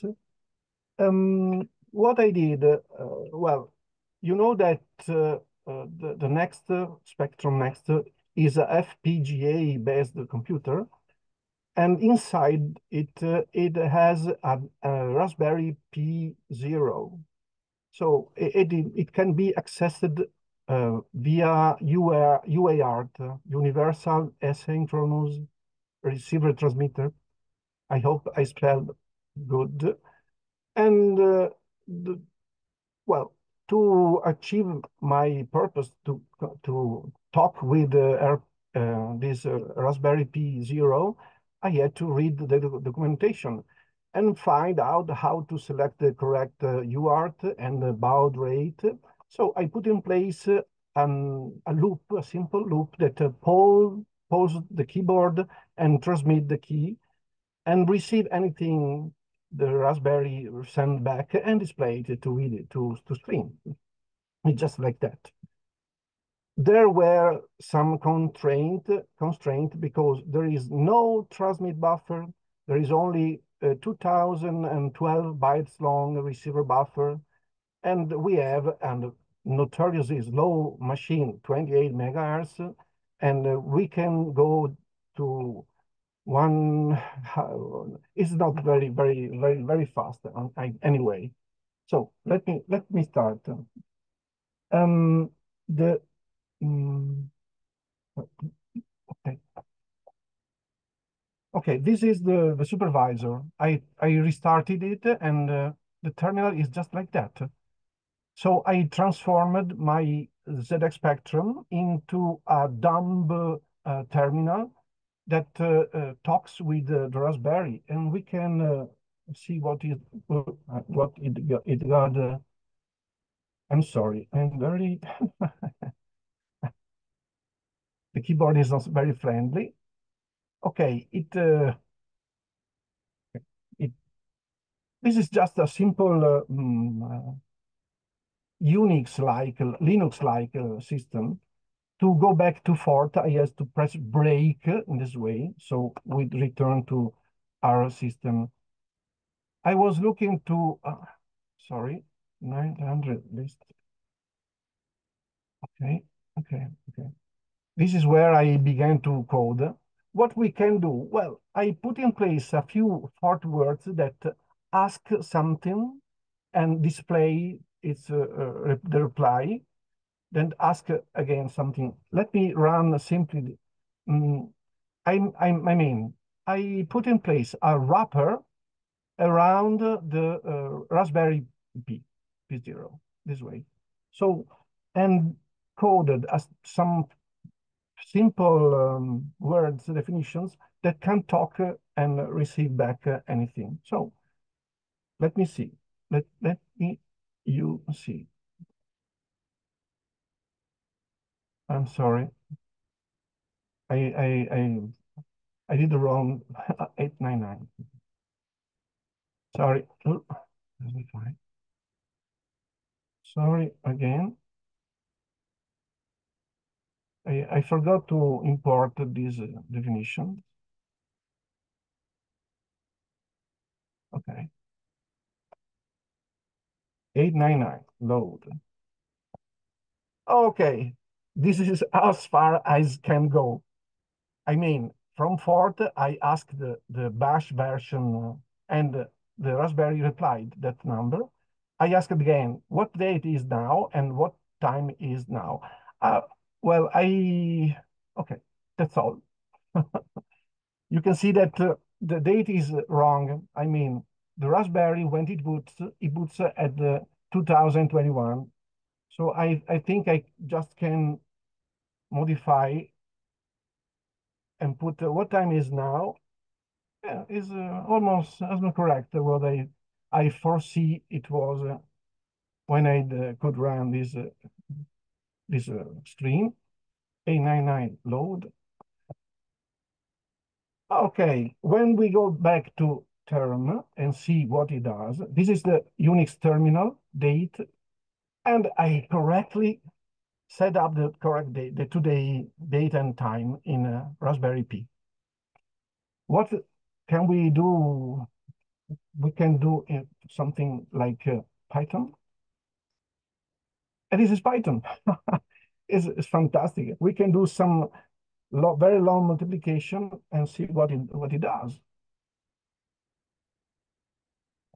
Spectrum cannot this cannot do this in such a, a, short time. So this is a real uh, good experiment uh, from my point of view.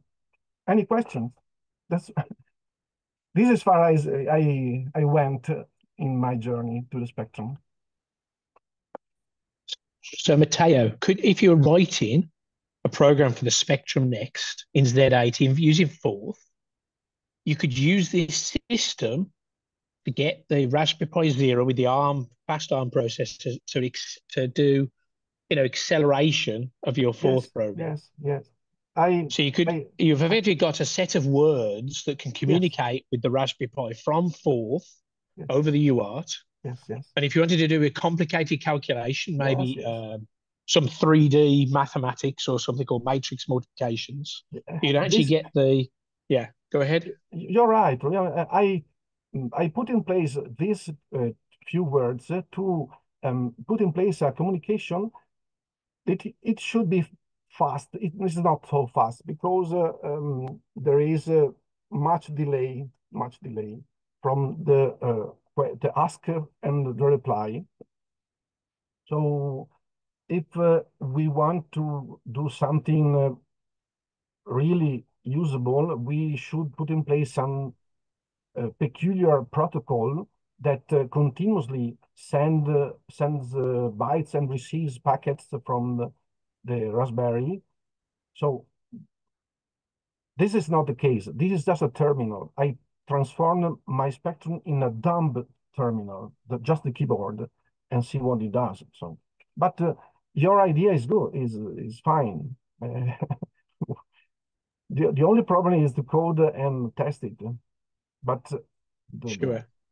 Yeah, I mean, as, as you pointed right. out, I mean, the, the Z80 is, is not very fast to do, no, no, for instance, floating point maths, right? It's uh, whereas the whereas the Raspberry Pi, just because it's a, an ARM running at you know, 700 megahertz, it's very fast. It's very fast. So you can offload computation to that that Raspberry Pi in the Spectrum Next and do do things that nobody in the 80s thought would, would be thought possible. I have I have in mind some ideas to improve this protocol.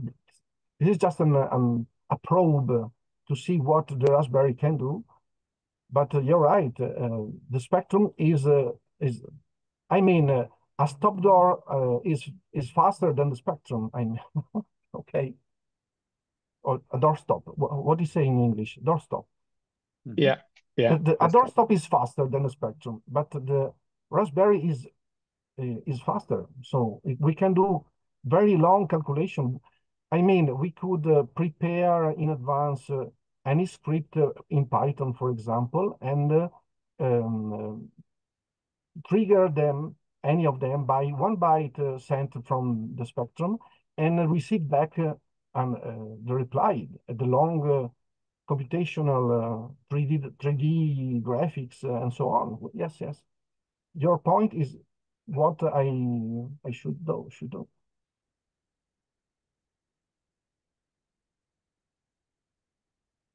All right. So yeah, thank you very much for showing this. Are there any additional questions? Okay, doesn't seem to be the case. So thank you very much indeed. And uh, we have a situation that uh, we don't normally have. We're ahead of time. Wow. uh, that's great. So uh, the schedules actually says uh, we should go ahead and um, do a coffee break or whatever, get some glass of water or whatever is suitable at your side at the time. Um, and I would uh, suggest that we meet in uh, what is good, 15 minutes or so. Okay, everyone aboard. Next participant is uh, Brad Nelson, who will present us a color, another ColorForth version. All right. Yes. Uh, can, can everyone see that? Yep. Great. Okay, so um, I'm going to talk about uh, yet another ColorForth implementation.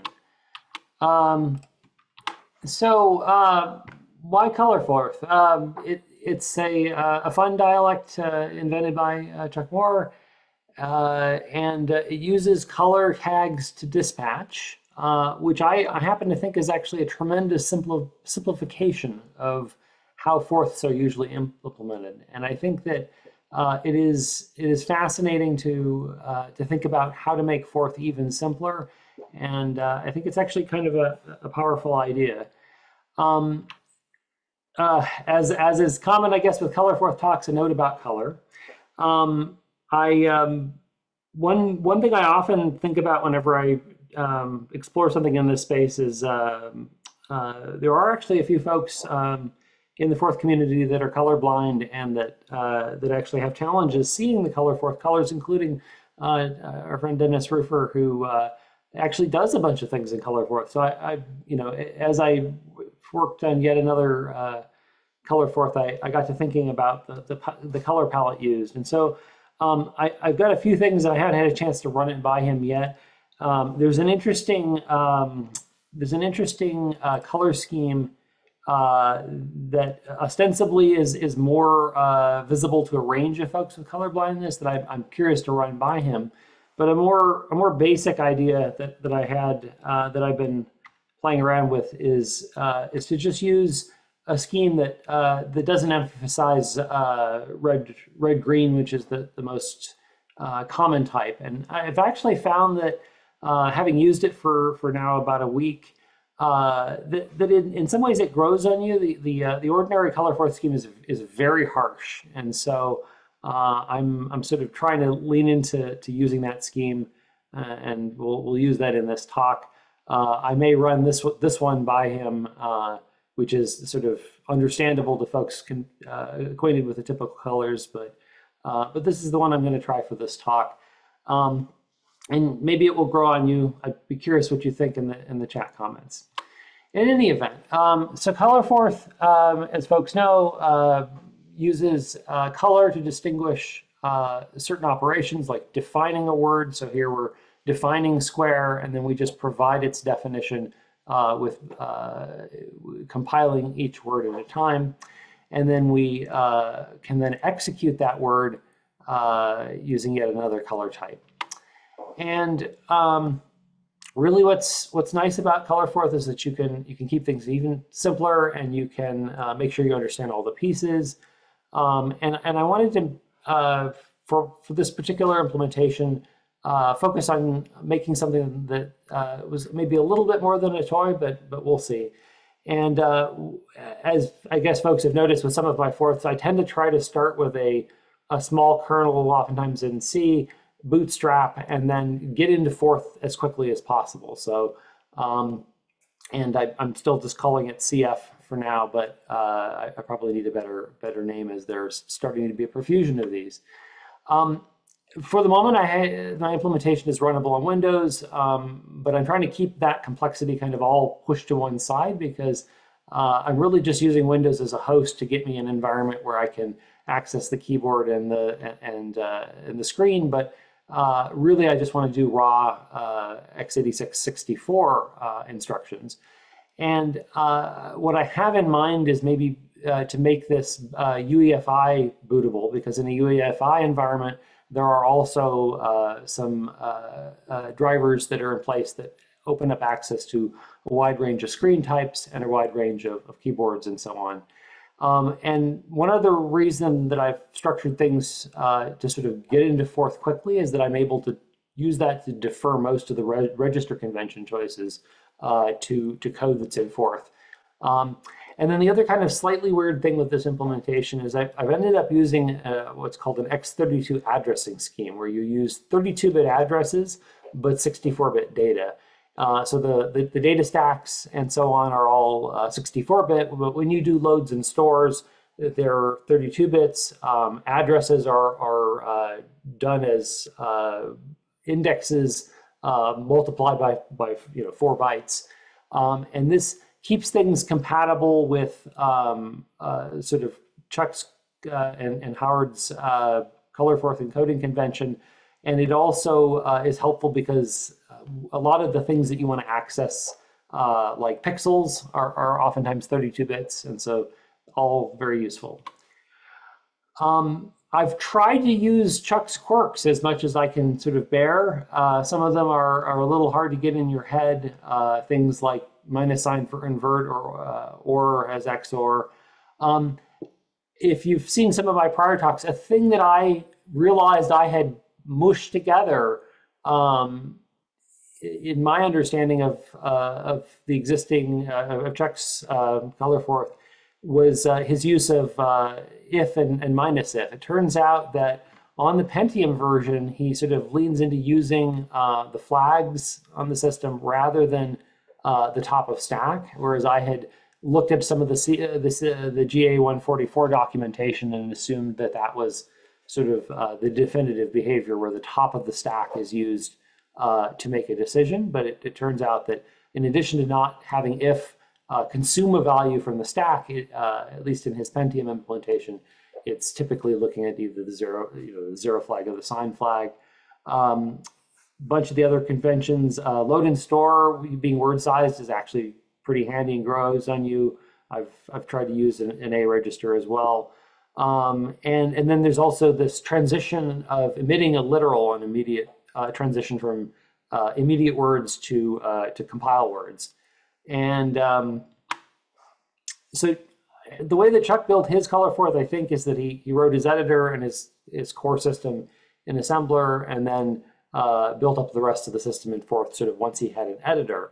Um, I've taken a slightly different approach. I, I devised a text syntax that uh, lets me uh, commit my changes to, uh, to a source control repository uh, and use a conventional editor.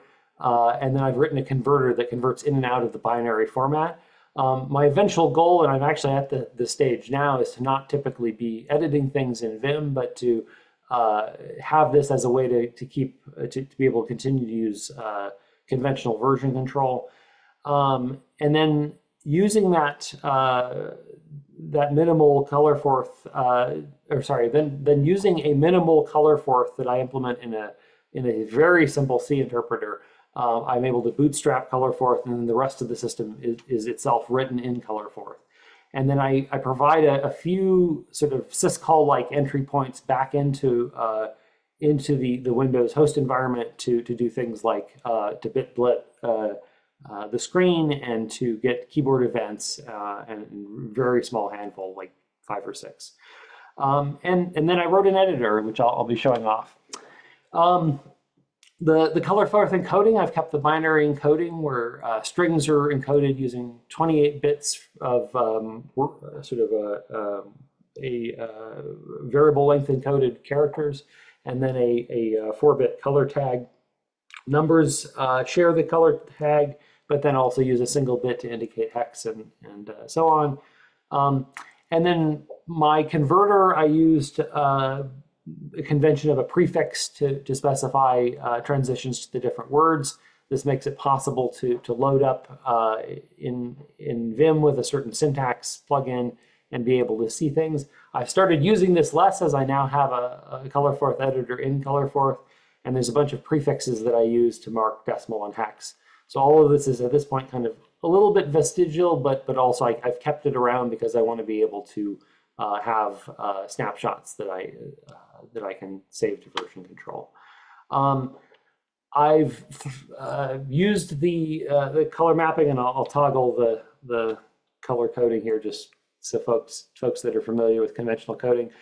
Uh, the, the, coloring scheme I've kept the uh, the tags more or less the same. I've actually followed through on dropping the um, the uppercase and uh, and uh, all caps uh, comments, and um, more or less retain the scheme as is. Um, let me flip back. And then uh, I've noticed there's actually two different character sets that are out there. Um, Howard had actually ended up using uh, a um, the, the, this character 41 as a, a colon, um, but I've kept it as a, as a tick, uh, which I noticed that the Arrayforth implementation seems to use because it's uh, useful to be able to do apostrophes and, and so on. Uh, the converter uh, is a beast of a thing considering that it's just converting from a binary format to text and back and forth, but it's 253 lines of Python and supports both, uh, you know, Chuck and Howard's images, and I use that to sort of vet that I got the encoding right. Um, and uh, you can you can run the thing at the command line. Um, I made a plugin, as I mentioned, for Vim to be able to, to show the highlights uh, or show the colors as I edit things. Um, and then to bootstrap, what I do is I start with a, uh, a C interpreter that only knows how to execute words uh, out of the dictionary. So it understands the dictionary format enough to be able to traverse the dictionary, uh, look for a word, and then it invokes it using a, uh, a thunk that it assumes is also available uh, in the dictionary. So it looks up the C to Forth thunk, uses that to call any words that it wants to execute. And that thunk makes the transition from the, uh, the, the standard C calling conventions for x86-64 which have particular registers that are sort of well known, and transitions into uh, the register convention that I use inside of the system. Uh, and that let, handles both transitioning in and transitioning back out. Um, I, I actually start ColorForth up on a separate thread because eventually once the system is running, I don't want to ever leave ColorForth. So I transition in and then just stay in uh, after it's sort of past the bootstrapping stages. And then using this, this sort of C harness that knows how to just uh, execute words only, I then implement uh, compiled words, which the, the, the harness knows how to use a separate thunk to, uh, to invoke based on the color tag. And then lastly, a, a compiled numbers uh, thunk.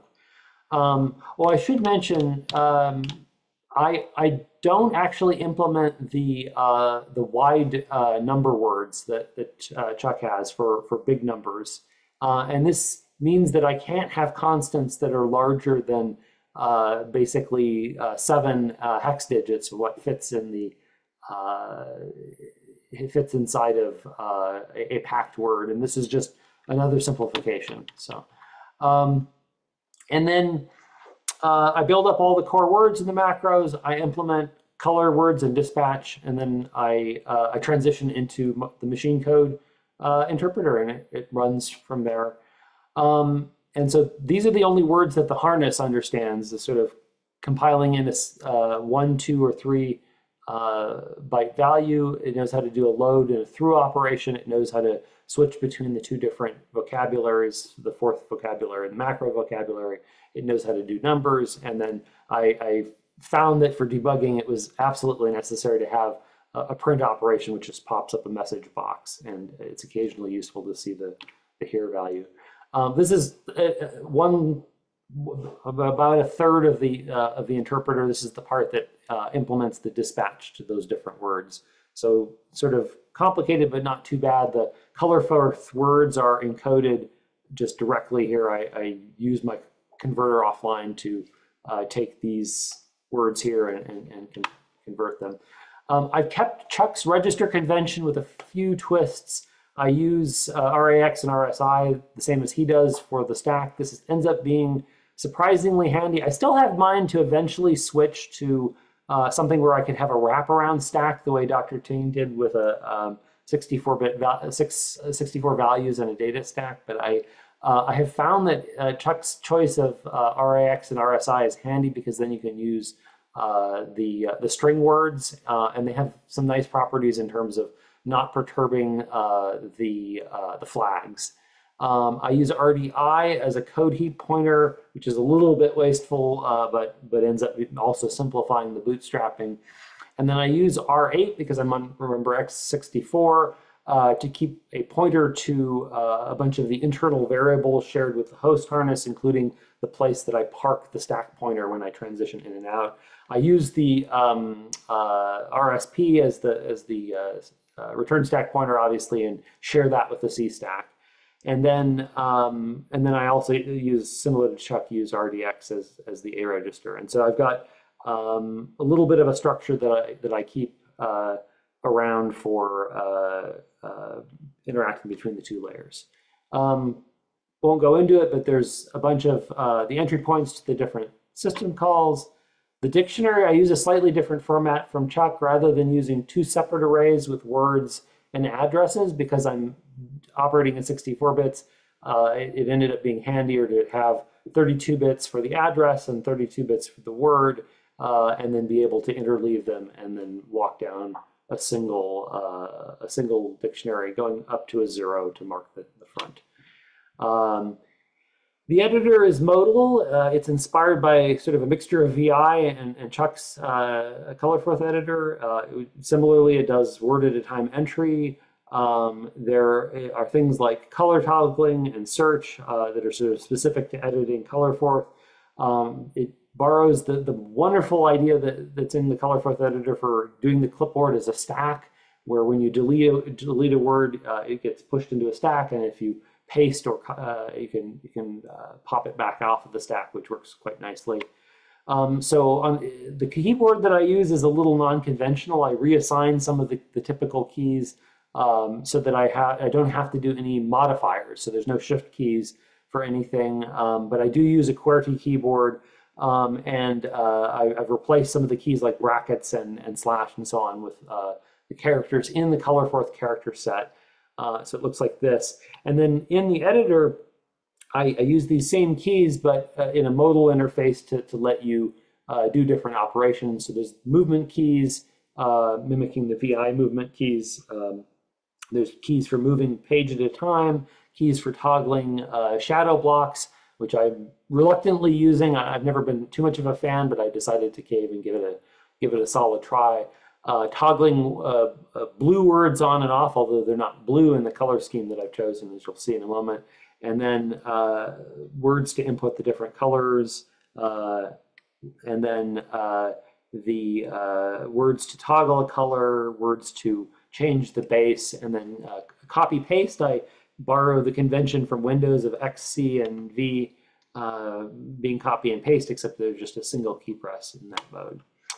Um, a couple random things I'll mention. Um, I've struggled a bit with magenta variables. They, they have a lot of quirks as it stands. Um, magenta variables have the, the property that uh, one really weird quirk is that they uh, re you really can't give them very long names because they make the assumption that the uh, the next uh, word over is the word uh, in question. The other kind of inconvenience I've noticed implementing an editor in Colorforth is that if I have uh, magenta variables in the source code, now when I move them, uh, I'm potentially damaging the editor and confusing the thing that I'm using live. Uh, so for this reason, I, I ended up more often uh, typically using uh, a conventional, and I should just, flip, I'm going to flip the colors here so that we, you can, those that are familiar with the conventional colors, um, doing uh, definition uh, followed by a yellow word to put something into a, a data uh, a, a, data um, heap, and then uh, using uh, using a, a, green word to then transition that into a literal, and that ends up being more convenient because the variable isn't sitting in line in the source block. I I'm still attempt, tempted by the some of the desirable properties of Magenta variables in terms of being able to save and load uh, their state in, directly in the source code, but I found in practice it, it's, it's very tedious. Um, and let's see, um, I've also found the flag conditionals a little bit hard to get sort of in your head. Um, it's it's sort of nice that they leave the stack alone, but it's it's hard to compose them because now you're sort of dealing with the flags. Uh, I, I, think I may in the future give some sub talk just on this topic. It's it's kind of fascinating, but um, you know you, you end up with these strange idioms like uh, wanting to do uh, an or drop to to check to see if a value doesn't match something, or um, oftentimes uh, you'll you'll end up uh, you know having challenges composing things. So you can do a pattern like dupe three or drop, uh, and then a conditional, and then another layer to kind of compose conditions. So there's there's some quirks to it that I, I feel like I haven't um, really gotten comfortable with. And I think an extra quirk uh, that I found is that when it comes to signed and un unsigned comparisons, um, Chuck uses this word less, which he actually defines with a whole bunch of, uh, uh, it's actually a whole uh, chunk of code that manipulates flags. It's actually kind of overly complex, and yet minus if uh, works most of the time. So there's a whole sort of interesting sub question around how to do um, how to deal with with uh, flags and how many of them are sort of minimally necessary. So, anyways, I'm going to go do a demo because that's the main thing I wanted to, to show off in this talk. Um, so I've got the, the system here and it, it's bootable like this. And of course it decides to open on the other monitor. Let me open this up. And so here it is. um, it has um, an interactive editor uh, similar to uh, the conventional one in Colorforth. There are shadow blocks where I've got my to-do list. Um, and uh, you can you can do sort of conventional things. So if I wanted to enter a definition, I can hit a key, enter square and dupe and multiply, and then I have square, that type of thing.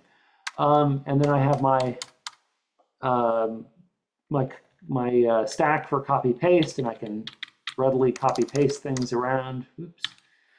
Um, and uh, just to give a brief tour of the system, um, so here's that C to Forth word uh, that is all just sort of uh, a bunch of assembly done in line to, to be the thunk transition into Colorforth from the, um, the C calling convention. And then I bootstrap with uh, a word that knows how to compile a word that compiles one byte. Um, and that gives me just enough to be able to implement semicolon, which then gives me just enough to be able to implement compiling uh, a 32-bit uh, value into the code dictionary, and then I'm able to implement uh, comma compile, at which point now I can compile words, although I don't use that quite yet because I then go ahead and implement uh, uh, the rex pref w prefix. I do implement this peculiar word nip dupe, which I then use to implement dupe. Um, and then I'm able to implement literal and now I can compile literal, so I actually have kind of most of the conventional things. And I'll I'll toggle the, the color scheme here just so folks get a visual sense of that. I got a couple other things. By the way, I've noticed that the more I've used these other color schemes, I, am starting to find the conventional color Colorforth scheme a little bit visually harsh, as, as, you may find. I've also got a black and white scheme in here, by the way. Um, and uh, let's see. Let me go on. Um, and then I go implement a bunch of macros uh, similar to what Chuck does for all of the core things. Um, and uh, more macros and more macros, and then the conditionals, and uh, I then copy a bunch of them over to uh, compiled Mm-hmm. copies. And uh, at that point, I, I go ahead and I, uh, I implement uh, a few more things, some uh, thunks to be able to transition and call in to see this word invoke, which looks very complicated, uh, does the reverse trampoline of getting back into uh, a Windows call from inside of Forth, uh, but passing along a bunch of parameters, which allows me to implement a handful of system calls, uh, including things like posting a message to the to the main thread, getting an event, and uh, reading and writing some things.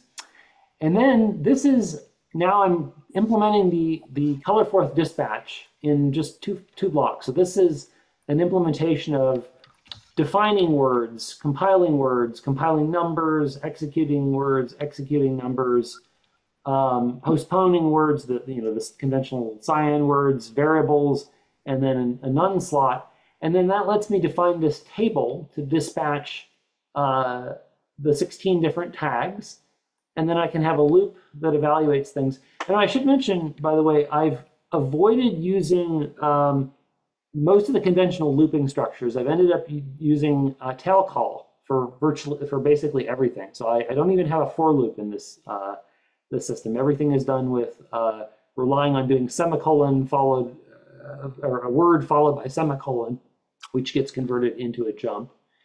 Um, I define blocks as being multiples of 256 uh, plus some value, magic value outside of from the trampoline variable area, and then uh, and then that lets me implement load and through a second time inside of the interpreter, which now lets me start the main interpreter. And from this block on, everything is now just running in colorforth. C is out of it except for thunking over to, to draw pixels on the screen and get key, key events.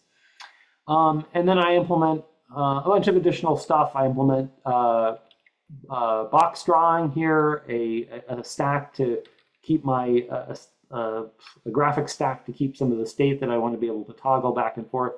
And then you'll notice this terrible font I'm using, and I do intend to have a better font soon, but for now, I've actually got uh, this, this screen actually defines this font. And if you can imagine, uh, the font is, uh, is implemented in uh, 25 bits. Uh, so there's four bits horizontally and six bits, or six, four pixels horizontally and six bits vertically.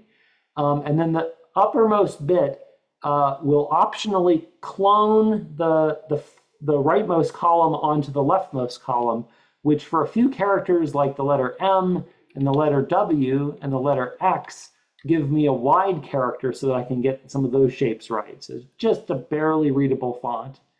And, uh, and then I have words to implement, printing of letters, and uh, I have a mapping from the key the key codes in Windows to uh, to color colors, and I have uh, printing of numbers, uh, printing of let's see, this is uh, sort of code for the managing the input loop, um, and drawing of a prompt, and uh, this is sorry, this is printing of letters and numbers.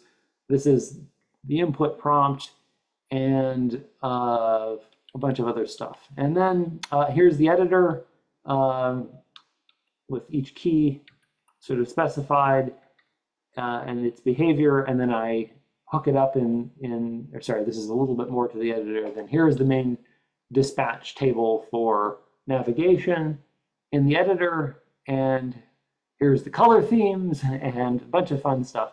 Anyways, let me show you some cool things you can do. Um, here's a here's a fun word. One of the things you can do with Colorforth is you can have inline uh, words that are uh, in conventional Colorforth. They are uh, blue. I'll, I'll show it here. And what they do is they they get executed in the editor. And so here I have a word called forth that just draws the Colorforth logo inline and uh, you can inject those characters where you like. Um, I have a, uh, here's a, a, a, a, text dumper. So I, I have a dumper that can uh, I can view uh, the raw bytes in memory and uh, move around and see those. Let me go back into the editor here. Um, and then I start up the world. Let me show one other thing, and then I will take some questions. Um, so uh, here's some more fun stuff with that colorForth word. I've got some uh, words to change the font size so you can do fun, interesting things with font size. Um, and then here's a couple here. Um, I've got an implementation of factorial that I need to actually load this block. Um, and then it will sort of print that. But you can do actually even better if you go into this block. Um, I load it and go into the editor. I, this uh, prints squares, uh, but prints them inline using uh, blue words. And then uh, similar story, but I, I was inspired by the use of Fibonacci to do the Fibonacci words, numbers, and here they are in line in a blue word. And with that, I will take some questions. Yes, I do have a question. Uh, what is your terminal emulator? Uh, so this is implemented in ColorForth. So this this is uh, this this uh, the outer code in Windows uh, is is giving it uh, the opportunity to draw into a uh, just a Windows uh, into into a window from a piece of memory. At startup, the Windows harness will actually allocate a gigantic chunk of virtual memory. I think a gigabyte of memory, way way more than I need. And then what it, what's happening is that for every frame, uh, it's uh, it needs to let me go show the code here.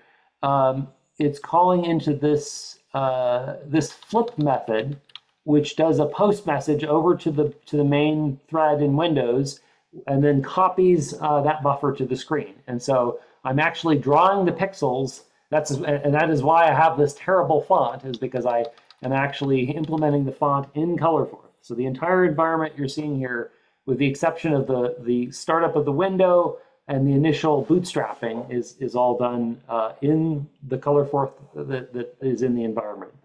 So. so in essence, you implemented your own terminal emulator. Indeed. Wow. That is cool. mm -hmm. Are there other questions?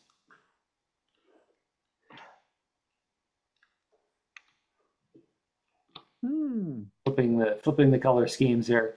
Um, let's see. What are what are some other fun? Um, the um, uh, one of the one of the things that uh, one of the things that I think is is also kind of nice about having a custom editor is the ability to toggle uh, toggle things out. Like suppose I wanted to comment out this word, I can just toggle each of these to a comment. Um, and then I can toggle them back. I have a question. Mm -hmm. Can you change the color scheme for this? Because I personally find that, let's say, bright green is more readable than, let's say, dark mm-hmm. blue. Mm -hmm. So the, the, the color scheme is actually defined. Uh, let me find the block here. The, yeah, there's there's a, a notion of um, toggle, there's a button that toggles, uh, the Q button toggles color schemes. And I, I put in these, these, uh, these four color schemes, but you're, you could certainly add others. And I, I, actually vary several things within each color scheme. So you'll notice that in, uh, in this, this scheme that uses the, the Wong uh, colorblind themes, they're kind of a more muted set of colors. And then some of the things are bold. And then in this one, I decided to do, this is the conventional colorForth colors uh, and I picked wider, wider characters. And then in this purely black and white theme, um, I've got uh, sort of bold, large characters for the uh, definitions, and then uh, narrower ones for uh, yellow, and then a, sort of a gray for the others. And so you can kind of pick and choose. And actually, let me show in all of the theme. Oops. In, and so in this theme, for example, I do. Um, I do uh, italic for the, um, it's more of an oblique actually, technically, uh, for these, and I keep that also in the, in the, the more conventional scheme. So um, I, I initially, yeah, share your sense that initially, you know, the conventional themes are are uh, are nice. I, I really do find this this you'll. I, I encourage folks that are playing around with colorForth to play around with the themes. At first, I I was like, oh, you know, this is a, a sad muted color palette, and then I gradually grew used to this one, and then I got it started playing with this one, and and it grows on you. It sort of now now even the other one feels a little harsh. So I find that it's it, it's what you adapt to. But uh, I, what I really need to do is run this all by Dennis Ruffer because I one of the things I wanted to do with the scheme was to find one that would made this a little bit more accessible to him uh, without without resorting to sort of introducing stray punctuation characters and so on. Other questions? Yes. Uh, can you maintain these codes without any comments of sorts? Uh, this is a good question. So um, I I do feel like the comment, the level of comments I have in here, and if you go, if I swing back to my first block, uh, make shadow blocks more detailed. One of the things uh, that, that, Chuck does in his Forths is he will use um, he uses shadow blocks, and I'm toggling here back and forth between the shadow block for this one, and you'll see here it gives a, a commented description of the block, or maybe a better example would be this one where it's got sort of the comments hidden away. Um, I personally have never, not typically been a big fan of this style of thing with the shadow blocks, but I noticed that it is uh, it is kind of nice to be able to sort of see things in a mode where the comments are largely absent, although here there actually are comments for the to show the x86 instructions. Um, but I I share your sense that like uh, one of the nice things about being able to have comments interleaved is actually to have these these nice white comments in line. And so, for example, uh, let's see, the uh, the stack effect here. Uh, following Chuck's convention, I put the, the, the the stack effect in the shadow block rather than in the in the definition.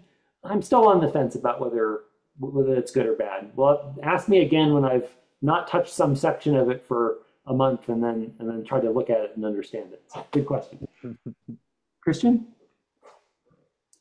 Uh, yes, Brad.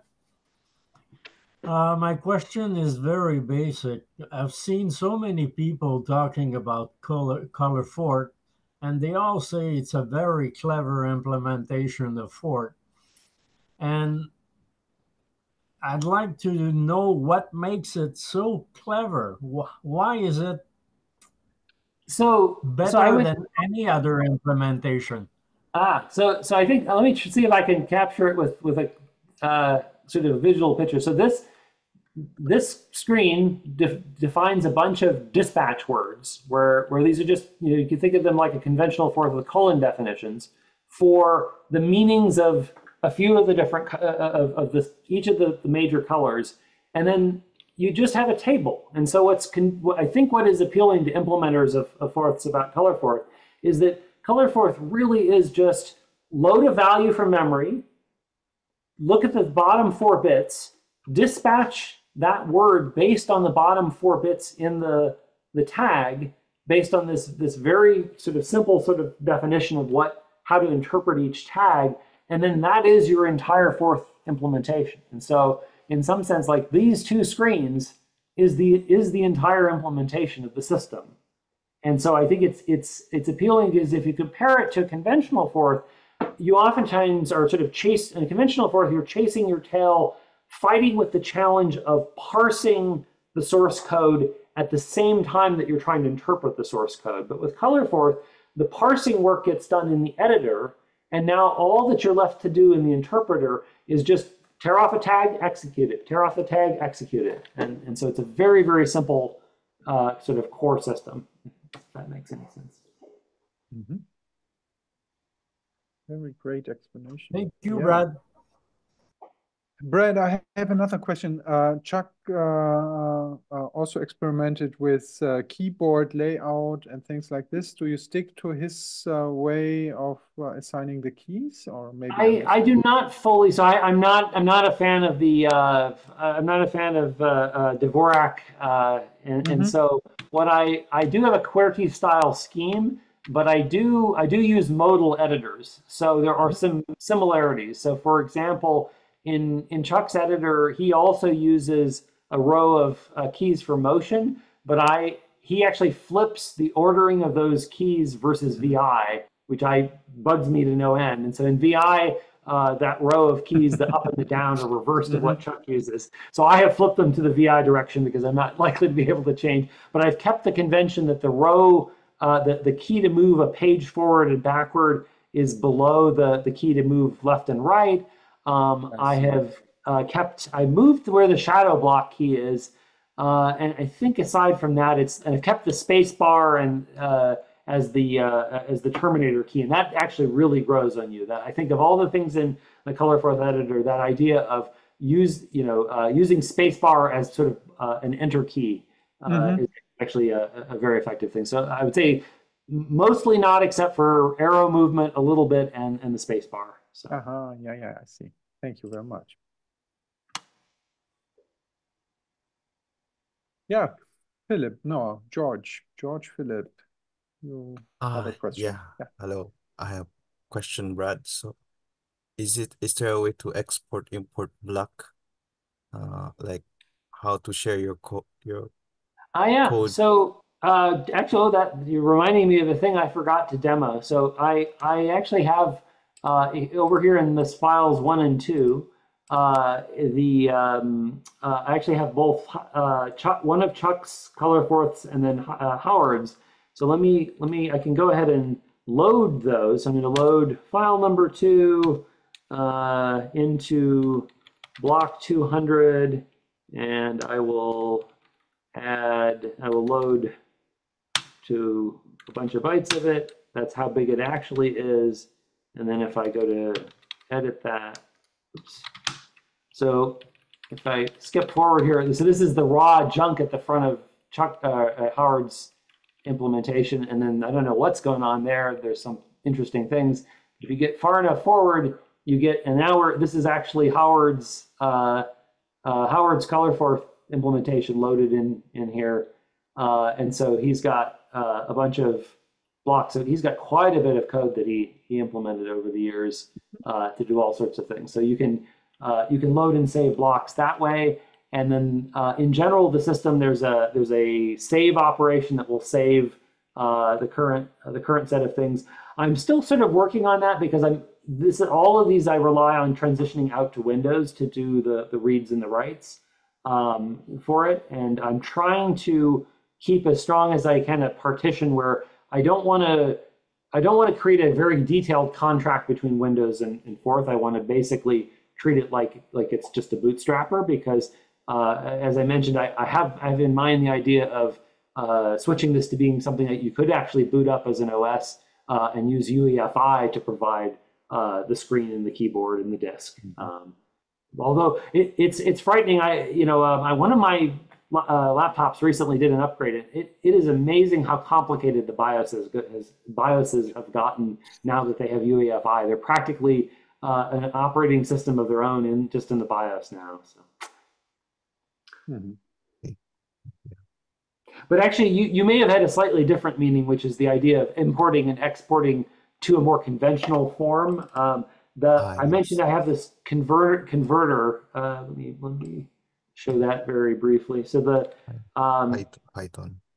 Yeah. So so uh, the Python converter uh, can be used, and so for example, here is um, here is the same boot blocks viewed as text.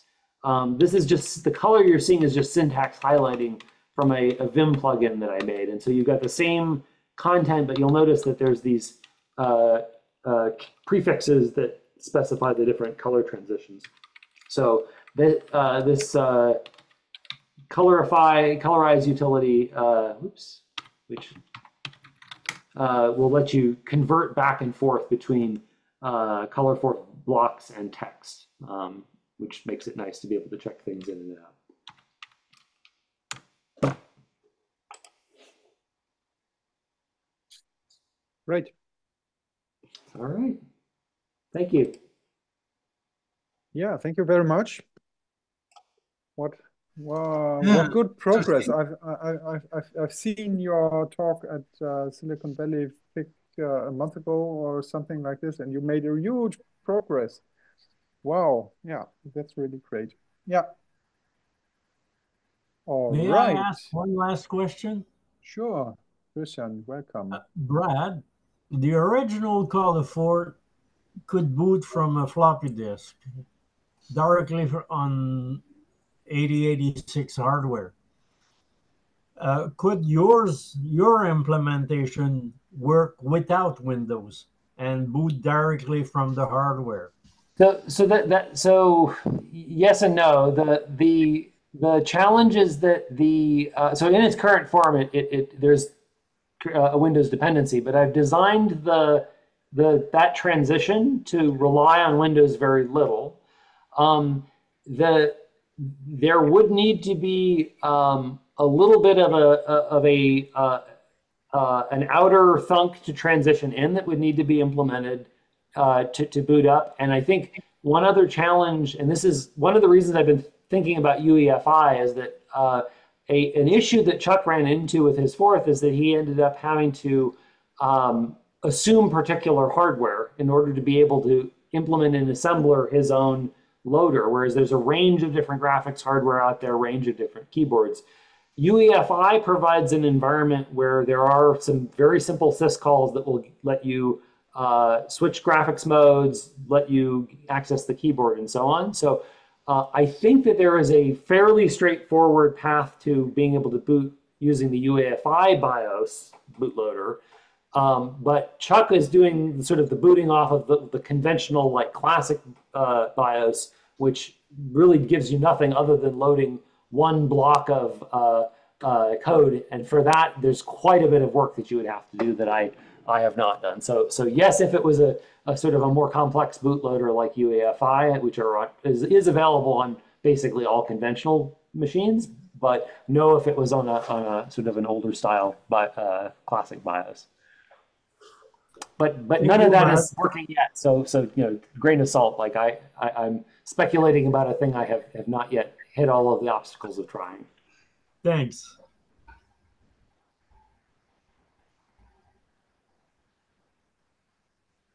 All right. I think we're at it. Thank you very much again.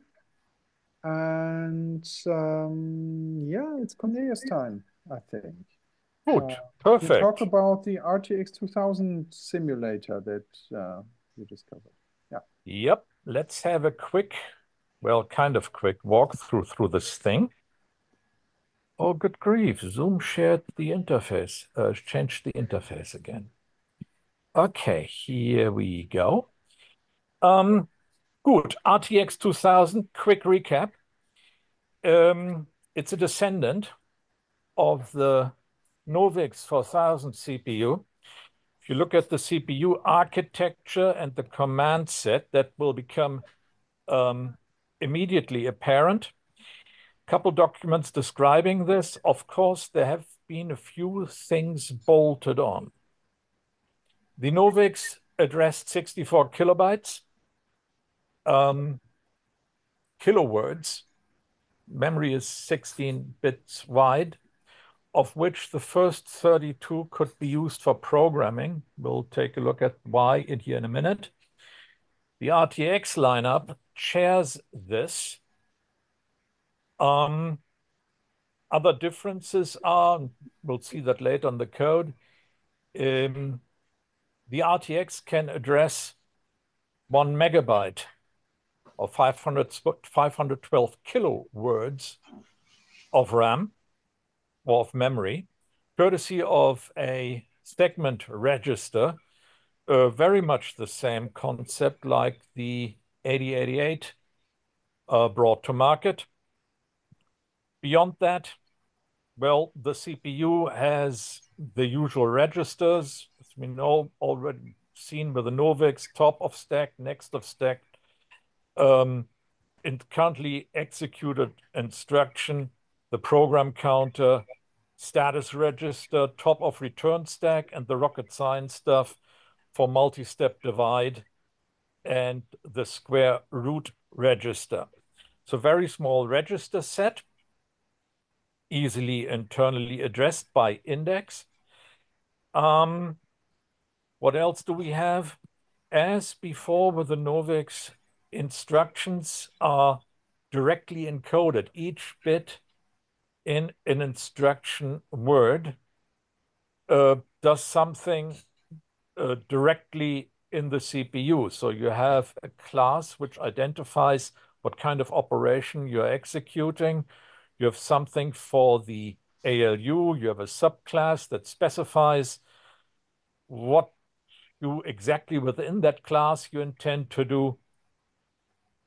The return from subroutine bit is still present, just as was in the Novix. A return from subroutine therefore executes in zero time if you package it in with another instruction.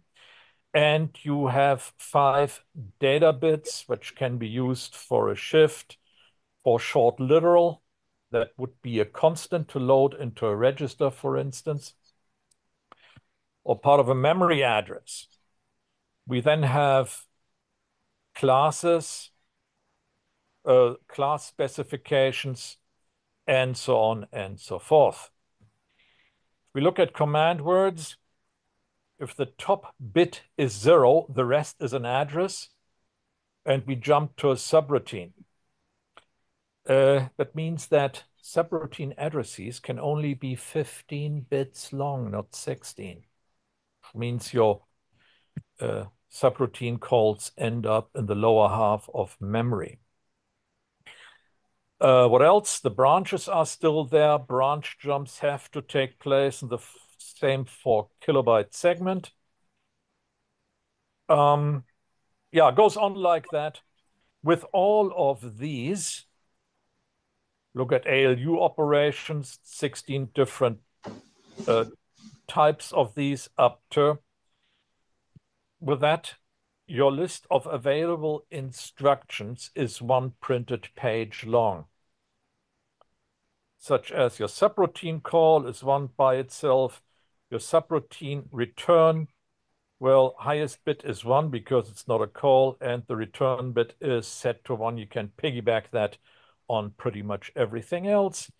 Beyond that, most uh, most low-level Forth instruction, something that you would elsewhere encode as a an assembly primitive, are just a word.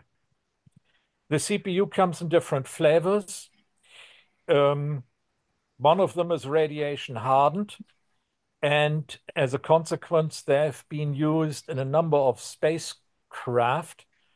Uh, the last one was the um, Rosetta uh, Philae, uh, Philae mission to 67P.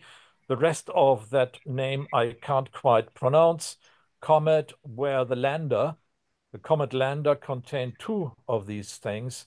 And I think the mothership had either four or six for various purposes. Um, there is a simulator for this thing. Um, and it makes sense to take a look at the README. Um, written, it was written by Phil Koopman he's still around. Uh, he is still at uh, CMU, Char Charles Mellon University. Um, the, Carnegie Mellon. Carnegie, Carnegie Mellon. Yeah, thank you. Uh, he wrote this thing while he was at Harris. So technically, that's still kind of copyrighted. But since this was done in the 90s, I'm fairly sure uh, one could argue that um, Harris has lost all interest. The CPU apparently is still available. Uh, comes with comes with both source code and an AppForth also on source code and as firmware that this runs on. Typically on Linux, you would expect a configure, make, make, install um, script. Uh, sure. Not exactly. The only thing that there is is a make file, and that make file is primitive. Uh, the only thing that's really, really system dependent is how the um, keyboard or the console interface gets turned to um, character I.O., not line by line like it would be in a shell. Yeah, it's fairly primitive, fairly simple. Um, couple differences, as I said, between the Novix and this thing. As far as hardware goes, one that you actually have to pay attention to is that you have a segment register. The um, the AppForth doesn't use that. It all happens within the segment zero, so the first segment. Um, I've not experimented with that just yet. Uh, your mileage will vary. Uh, documentation is exists, but it's kind of finite. But hey, that's what source code is for. To compile that thing, just run a make, and it creates your simulator, and it creates a bin to hex utility that you will need when you compile your own, when you rebuild uh, AppForth to create that, to turn the bin file that comes out of the of the executable uh, into an Intel um, hex dump or Intel hex format that gets read on startup. The other thing worth mentioning, there's a script called run, which invokes the application followed by the hex file of um, of your um, firmware. So if we run this thing, this is my version. It spits out all that hexadecimal that it has been reading, and we are up. Let's see if anything works. Well, that looks promising. Let's make a word definition. Same thing.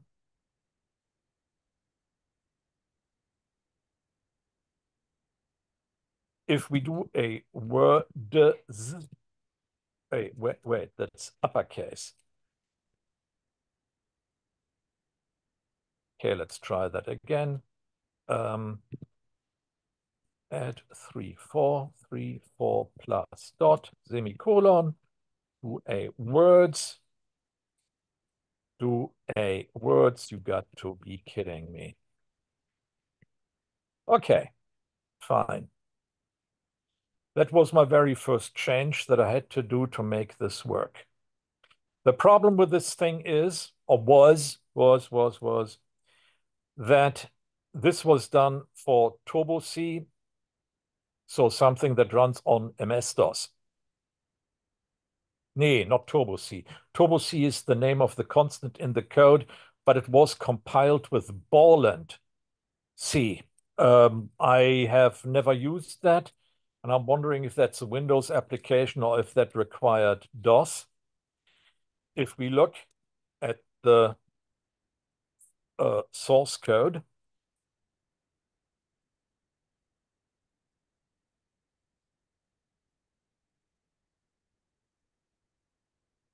there's a constant called turbo C.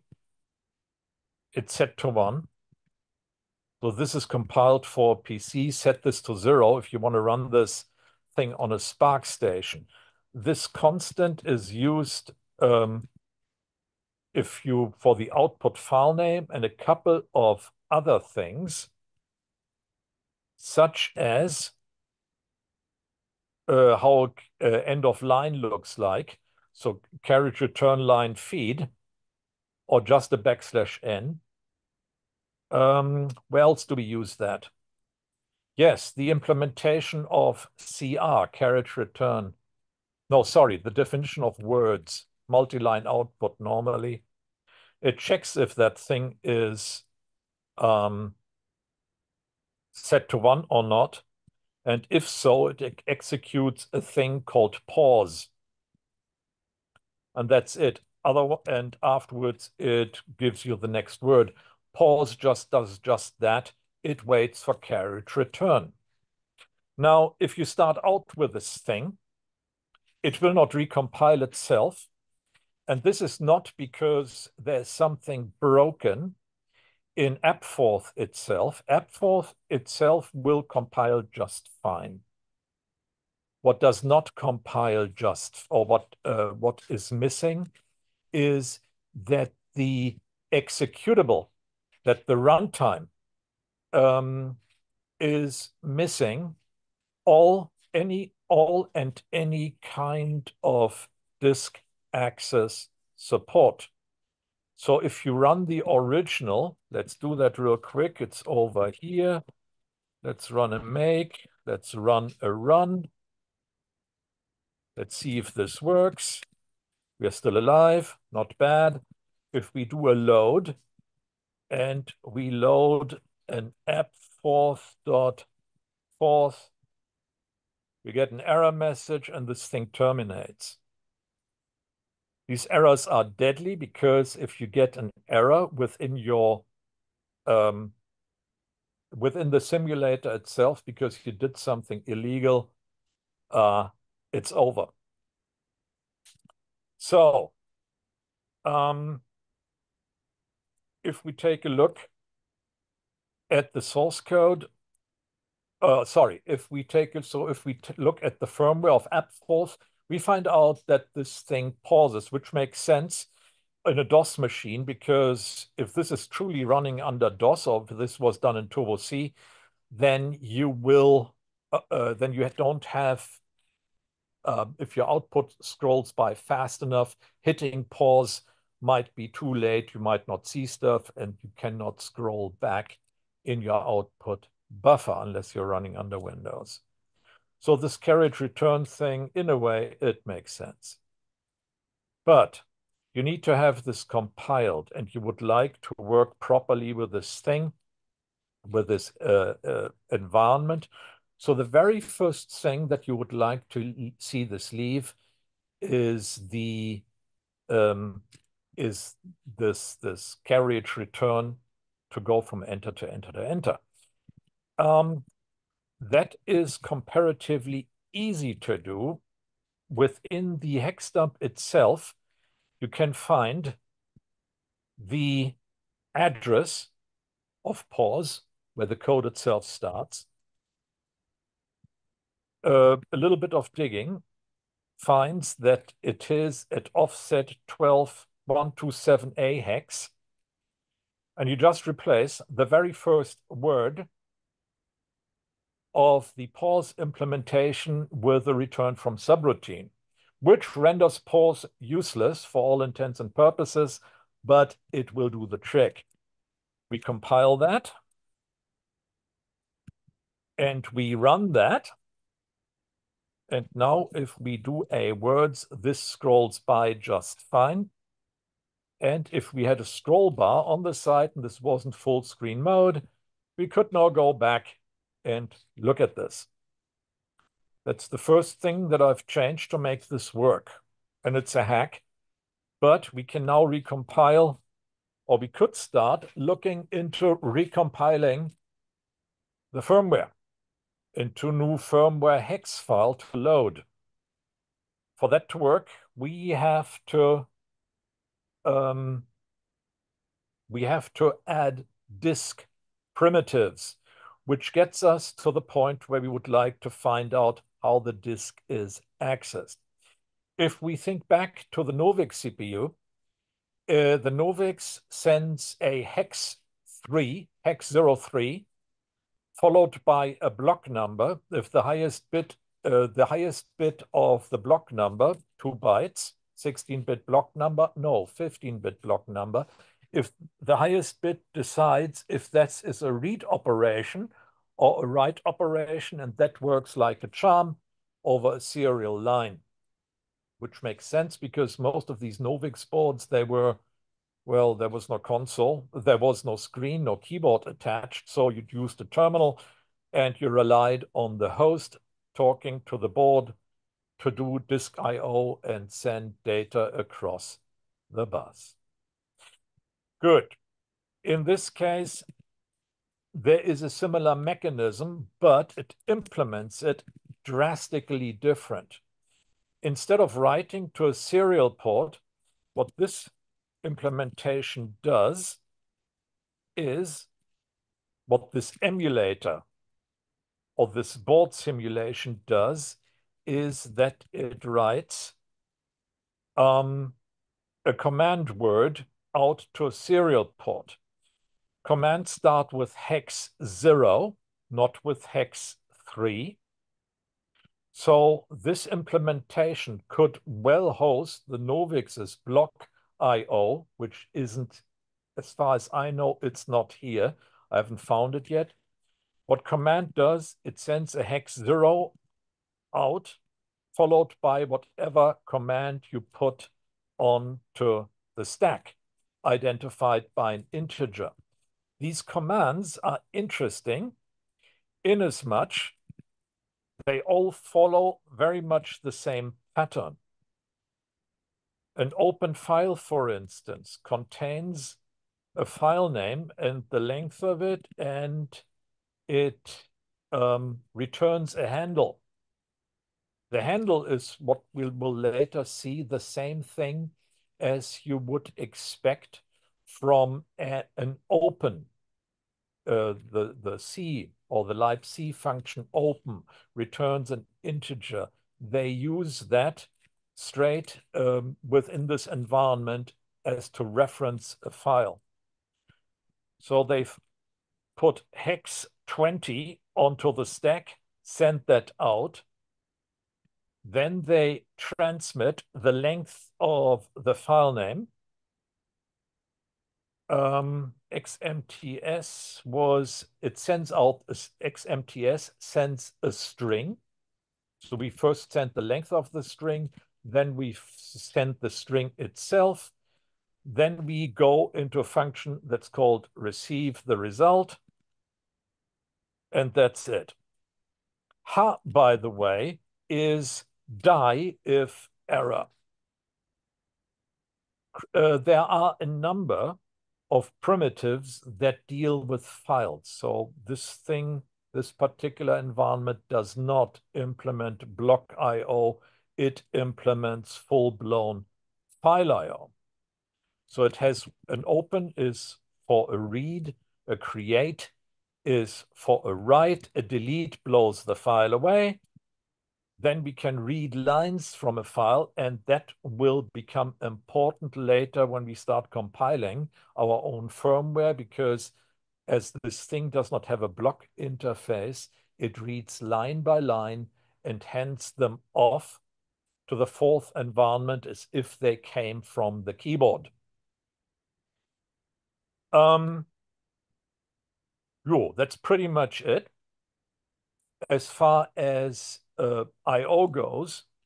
Now, if we look at XMIT, XMT, where is it? XMT. Never mind the begin until part here. What this thing does is that it write, um, receive and ex, uh, transmit write directly into a CPU register. I've never seen any of the boards that are being simulated here. So either somebody bolted on some extra hardware on the outside that gets exercised whenever you write something to a CPU register, or um, it is a concession to a simulated environment that catches a read uh, to this register or from this register or a write to this register that then goes out and triggers an external action. The simulation environment strongly suggests the latter. If an actual board did that, I don't know, I don't have the board. If we take a look at the implementation and how this is being done, we have somewhere in here functions that implement a host read, which would be a read from hex 19, or a host write from hex 19, that open a file, read a file, do something dot to files, and so on and so forth. All of these invoke a function. There is a token, a numerical token to function association, which has to match whatever app AppForth implements. This goes down to the point that you can actually return commands. Some of these I have yet to implement. This particular environment contains what's uh, required to um, recompile the firmware. So for instance, an open file, remember, you pull this out of the simulated environment byte by byte. You do not get to read a memory region, though that would be implementable, that you have a memory region that then gets uh, handed off to the um, emulator, which would more or less uh, sound like dual ported memory. The host reads memory that the guest uh, has to put commands together in. That was not done here, and that's probably a good thing, as we'll, we'll see in a future talk. Um, so you get bytes by byte. That means you have to keep track of where you are in your byte sequence. And this then just calls for finite state machines. So if, for instance, you want to open a file, well, in state zero, you clean up memory and you're done. The next thing to follow in states one and two is the length of the file name. That thing can be 16 bit, bits long, bytes long. Uh, sorry, uh, the length field, that's two bytes, so 16 bits. That file name could, in theory, be 64 kilobytes long. Well, it is not, but still. Uh, then you catch the file name. Once you're done, you open the file. Uh, remember, uh, the read to open this with f open is that we later on need to read from a stream because the runtime environment wants to see a source code line by line, at least in this case. We hold on, we return the file number, we hold on to the file pointer, and we're done.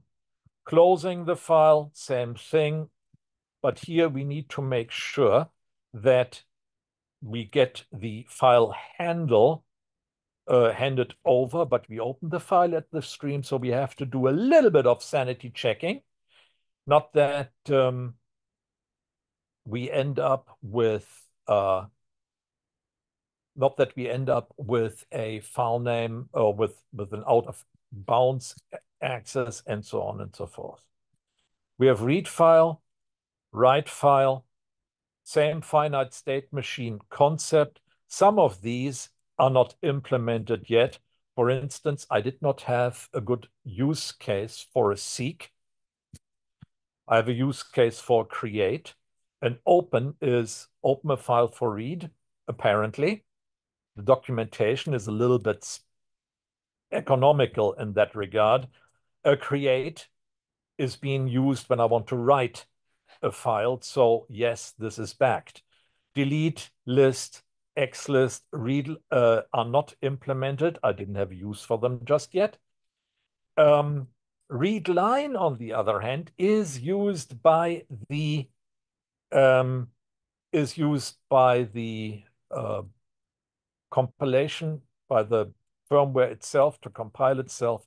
So we had to put this there. I implemented command. Why did I implement command? Doesn't matter. Anyway, those are the changes to this that I really had to write from scratch.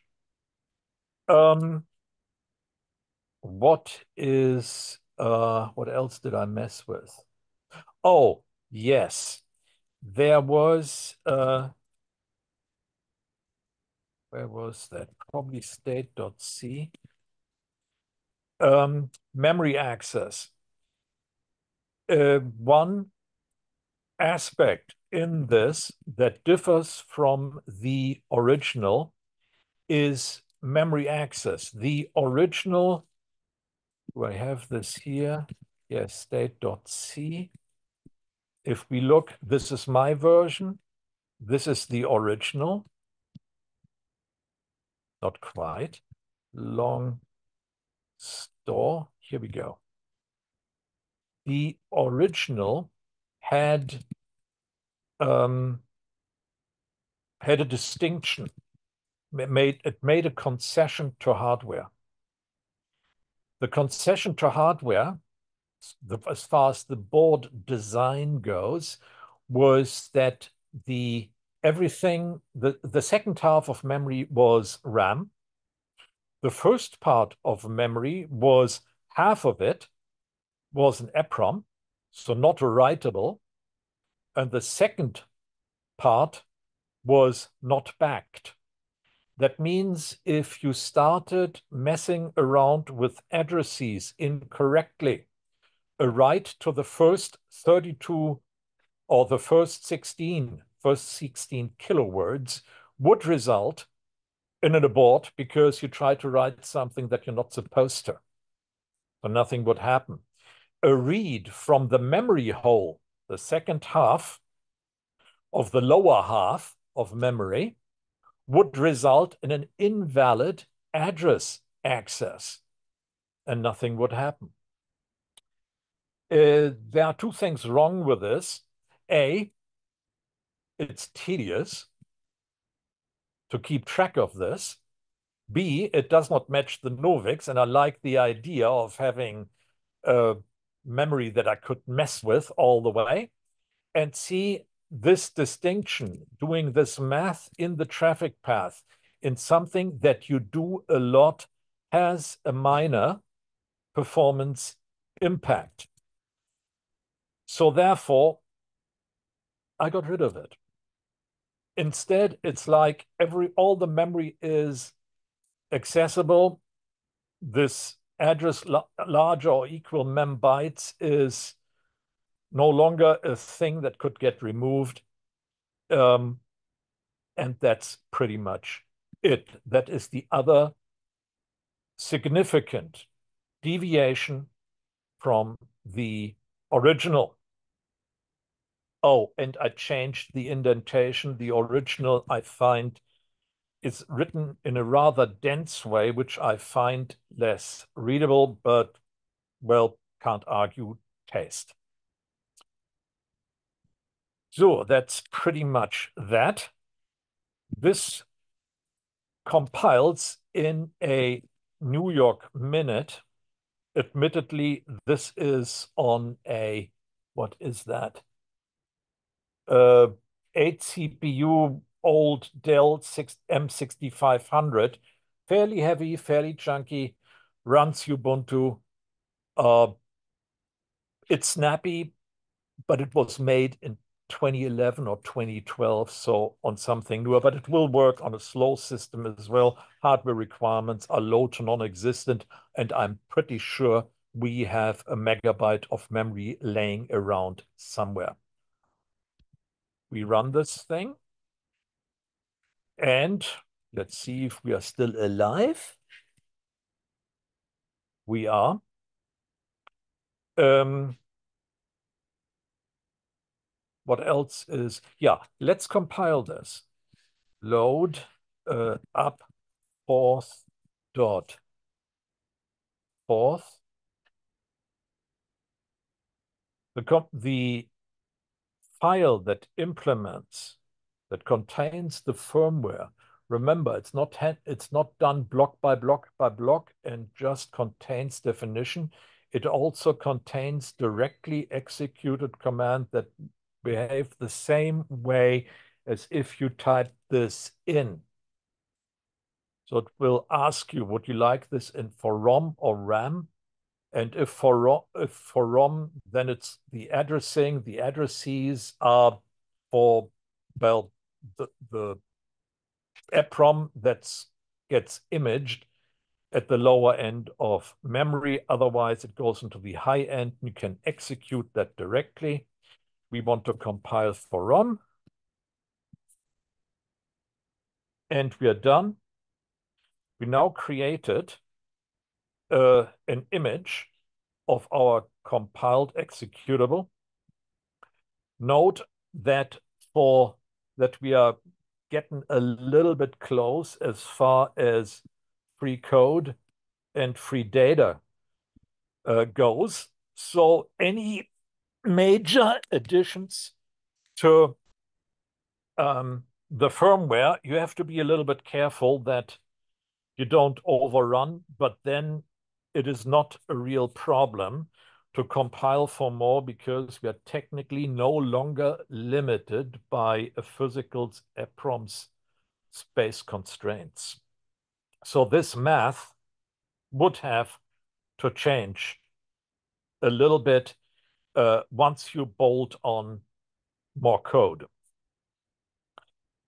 If we exit out of here, exiting out of here is simple. A control C does that. Um, single stepping CPU register manipulation at runtime is on my list of things to do, especially because we have that already for the Novix. I would like this to behave at least in a similar fashion. If we take a look, down here is our latest and greatest file.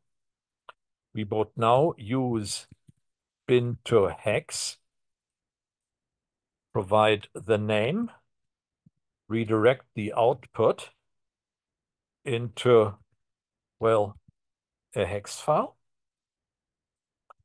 If we take a look at run, run already loads appforth.hex. So let's try to run this. Let's see if it still works. I have no idea while I'm trying this command to execute uh, to test if anything actually happens. It's muscle memory, and I'm. It's been a while since that started. Word still worked. Apparently, we are up and running. What else does it do? Oh yeah, let's take a look at how things look once they're getting compiled. Let's do implement a quick word, something easy to read. And we do an add, we do a C against add 34. Hit enter. Oh, I love non-printable characters. Okay, remember, the original board that this firmware was made for only had the second half of memory. So everything from hex 8000 to the end of memory populated with RAM. The first half under uh, below 32 kilobyte was ROM or not there and therefore couldn't be written to. Because of that, we have, we start out at address hex 8008, and that is before, before that, we have the link field for the Forth dictionary that add 34 is now part of. You have the link field and the um, word name itself. Mm -hmm. Cornelius, uh, could you mind the time? Oh, how, how we are doing? Oh yeah, Um, okay, I'll hurry. Okay, so we push onto the stack the value three as a short literal. There is no value stack of uh, 8000 of 003 following. We push onto the stack the four and code the operation into the same word.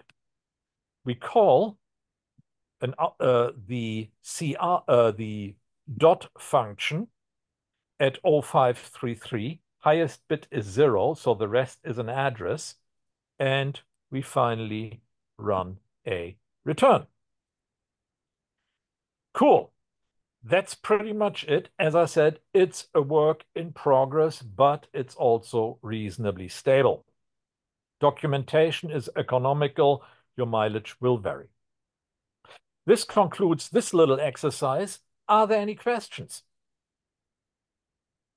Thank you very much. And maybe we do some follow-up workshops on that.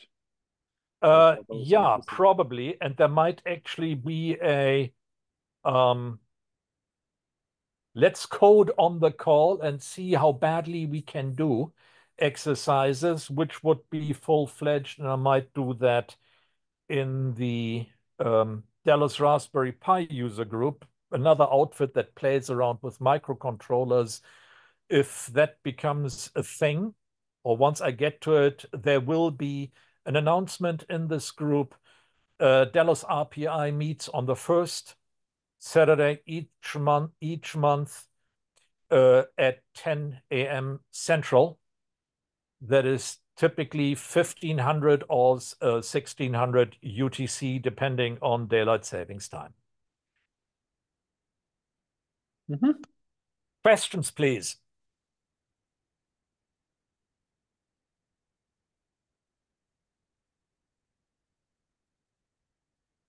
Don't be shy. I don't bite just yet. okay.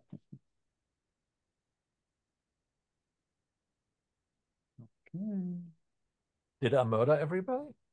Or maybe overwhelming for everyone. Uh, probably all be asleep.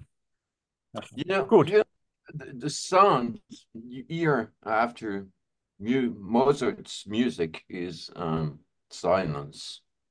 Uh, yeah, stunned silence. I have uh, murdered everybody into submission. Sorry about that. Yeah, Sorry well, about that. when there is nothing left to be said, then um, let's be silent. Yeah. Uh-huh. Yeah, again, it's a work in progress. Yeah, we're looking for So- improvement. Uh, it's going to be eventually up somewhere. If somebody wants a snapshot, all doable, but don't expect um, the snapshot to be totally stable. And it's really just that, that a snapshot. So if somebody uh, wants to wants to look, see, let me know.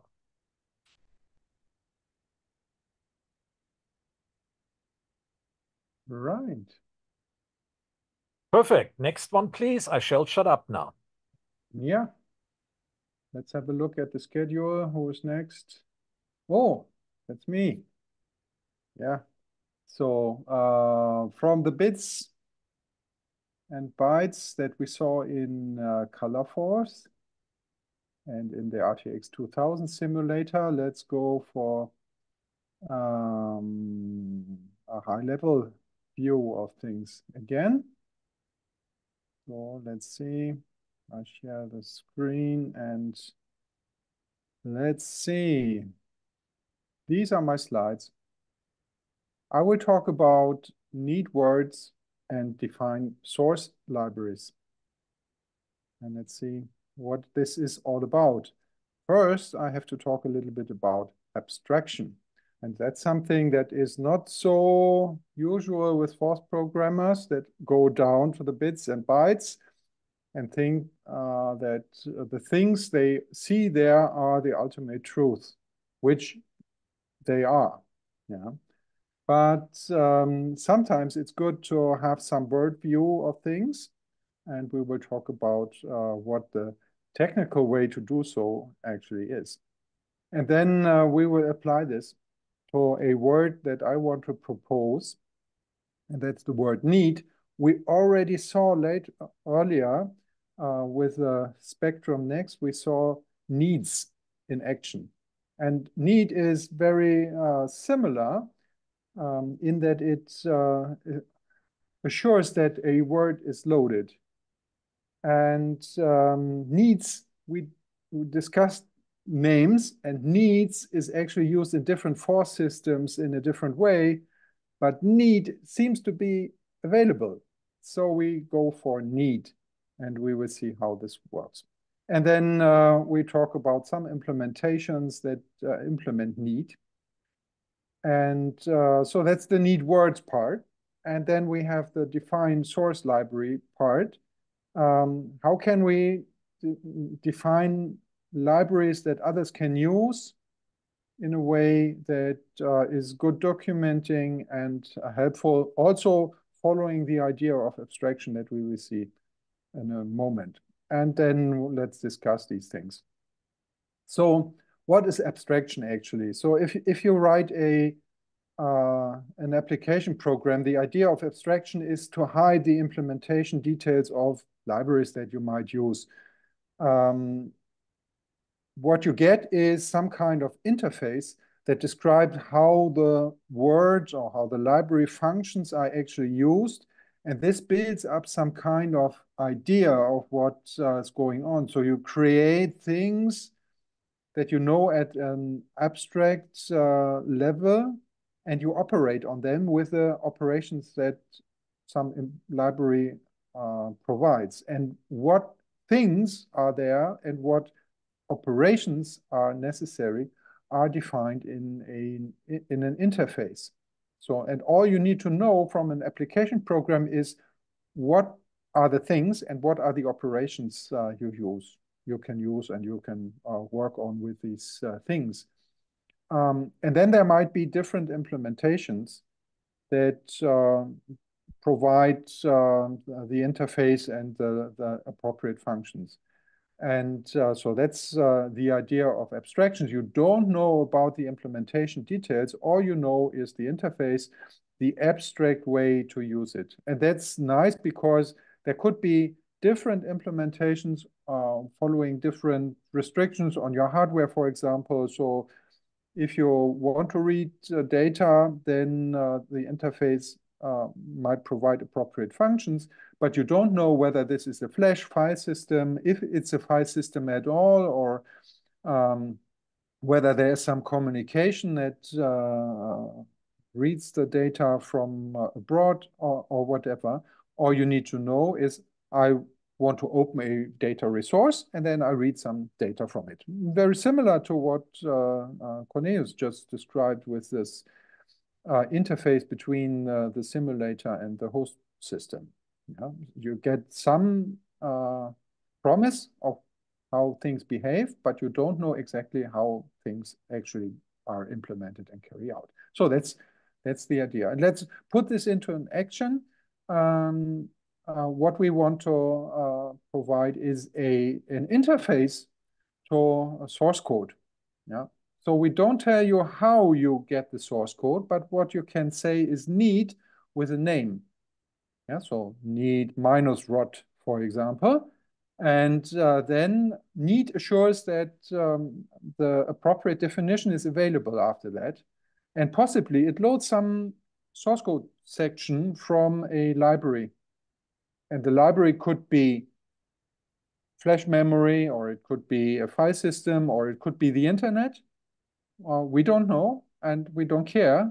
All we need to know is uh, after we say need name, or need minus rot, for example, then we know minus rot as a function is available, as a word is available, and we can use it.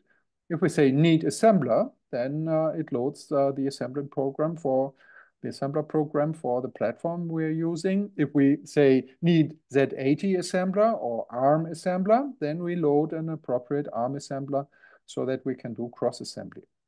Yeah. If name happens to be defined already, then nothing happens.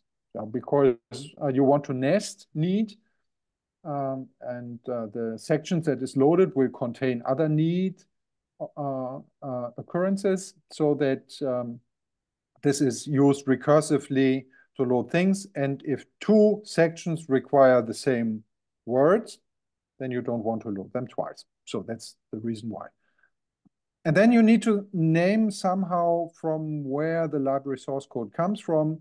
And uh, so I use the word from for this, from with a library name.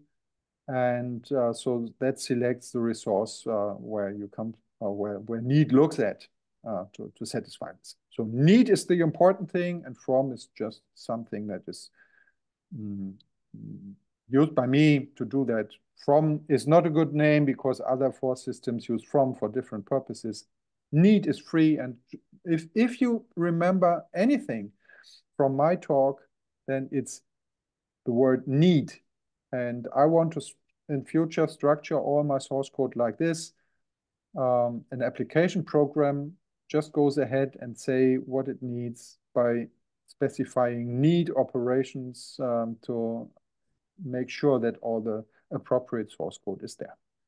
Right, so that's the interface and there are different implementation of these source code library systems. And um, uh, in 1995, I had a talk at EuroForth uh, where I presented my simple source code library system. Use different words, uh, use require for uh, what we today call need, uh, but require again is implemented in different systems in a different way. And there are systems that have like 4,000 or 6,000 words defined. So it's very hard to find actually um, a four letter word that is still available. So I'm very happy with need. We heard also Albert van der Horst talking here in the FORTH 2020 Zoom meetings about ciforth and his want feature. And uh, want is very similar. So you say want and a name, um, uh, and then uh, it loads from uh, ciforth library the appropriate definition, very similar to what need says. The difference is that want parses all the words on the same line until the, the end of the line and needs all of them. And need just takes a single name, which is a more simple factor. Of course, Albert also has a uh, factor uh, wanted that takes a character address and length string from the stack and uh, does exactly what need does, a single uh, load of a source code section. And very recently, Willem Ouwerkerk uh, in the noForth uh, implemented a Flash library where the source code is placed into the unused space of uh, a Raspberry Pi Pico, where the Forth system is very small and uh, occupies only fragments of the flash, and the rest is available. And so he uh, put system source code there, and uh, his need then goes to appropriate sections in Flash and loads them on the fly, which is very convenient and very nice. Yeah. remember earlier we uh, before having having need and the Forth no force flash library, uh, these things were loaded via the serial line, and that is uh, much much much slower, of course, than loading from flash. So these are three different implementations of the need interface. So that's abstraction in place. Yeah. So if we want to exchange source code and the source code just says with need what it requires, what it needs, then uh, either of these implementation would, would work. Yeah, so, uh, and, and the details of how to define the library wouldn't be uh, th that important. And um, so I encourage Forth implementers, implement the word need the way that I defined it in the interface, and then do a source code library implementation like you find most appropriate. Uh, appropriate. So let's see, we continue. How would you define a section in my style? Yeah, uh, I have a word desires, and that uh, takes the appropriate context uh, of what need actually specified, what is to be done, and then I uh, uh, specify the, the word that um, need looks for, and then I do conditional compilation. So this is how a section looks like. So if you say need minus rot, it eventually go to my library system and in the end, come to this place, see desires minus rot, aha, this is what need actually uh, requested, and it will load that definition. And then uh, it skips the rest of, of, the library, so I can selectively load just this section. And I use standard conditional compilation words to do that. In Willem's implementation, it's way different. Um, he uses uh, binary markers and special search words uh, for uh, finding the appropriate section, but the idea is actually the same. Uh, Albert van der Horst uses um, blocks and uh, his want actually figures out on which block the appropriate section is, and then he loads that block. Right.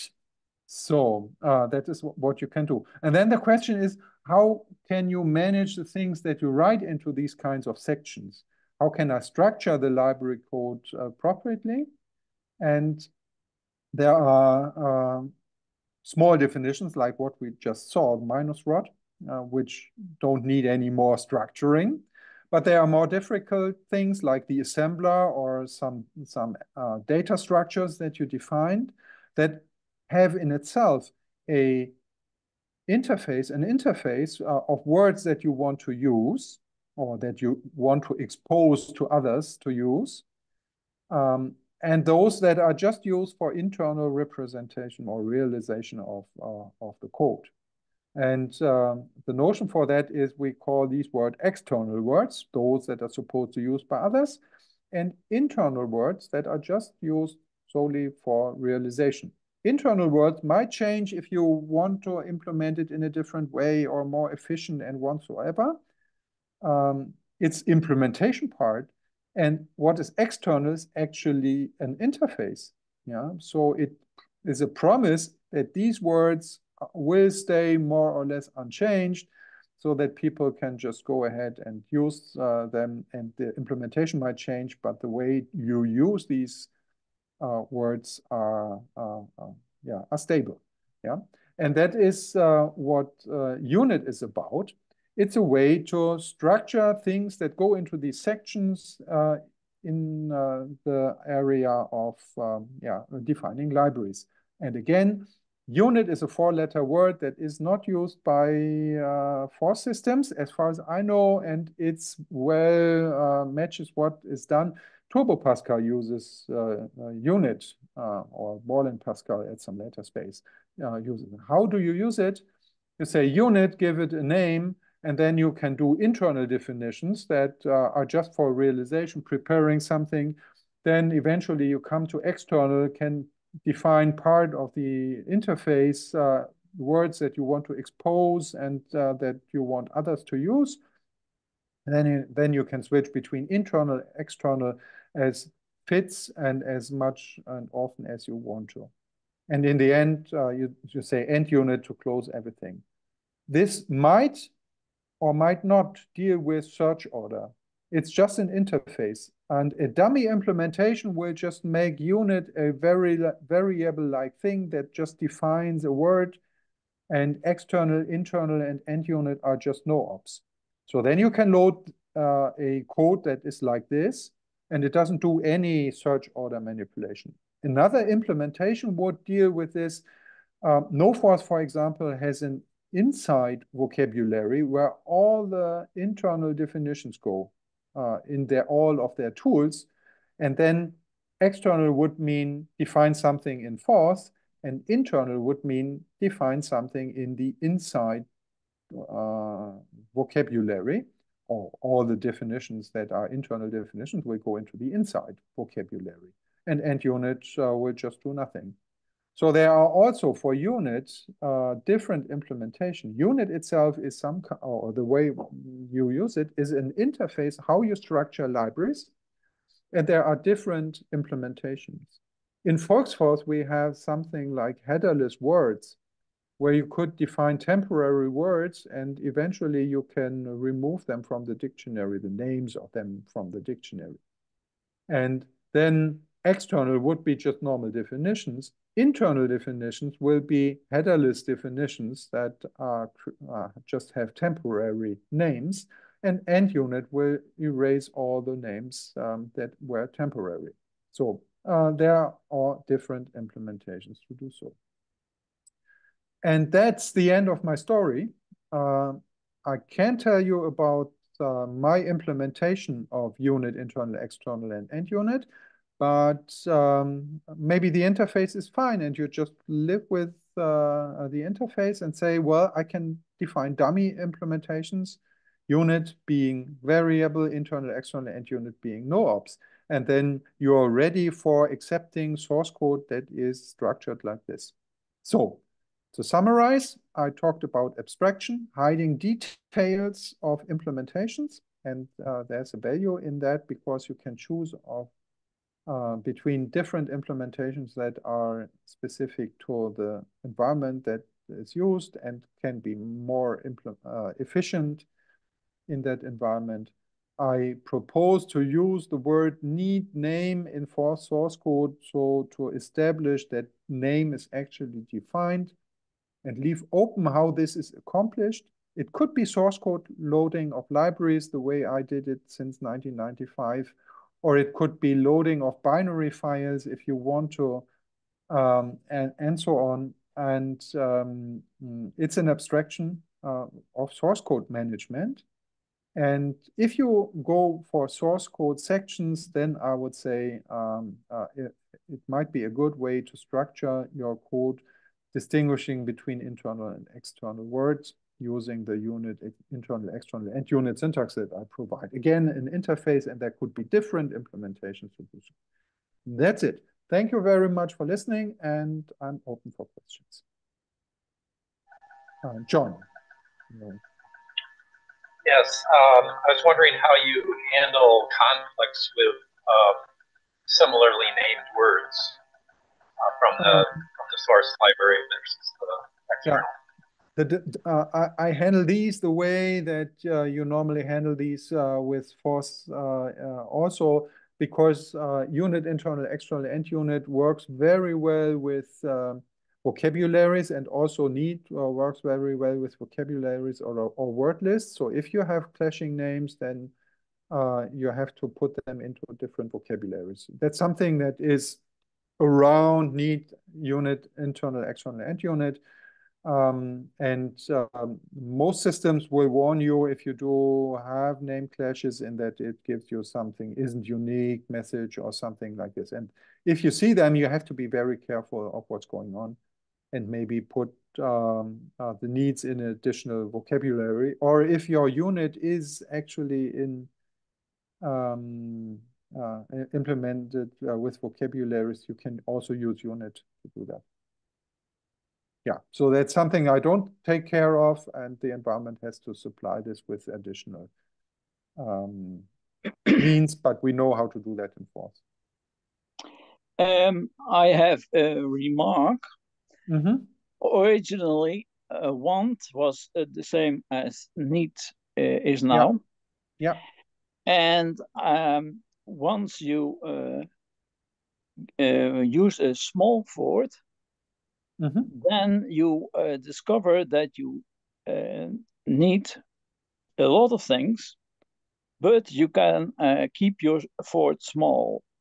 So, for example, I have a disassembler and assembler mm-hmm. on top of, uh, uh, say, iFort with uh, less than 400 words.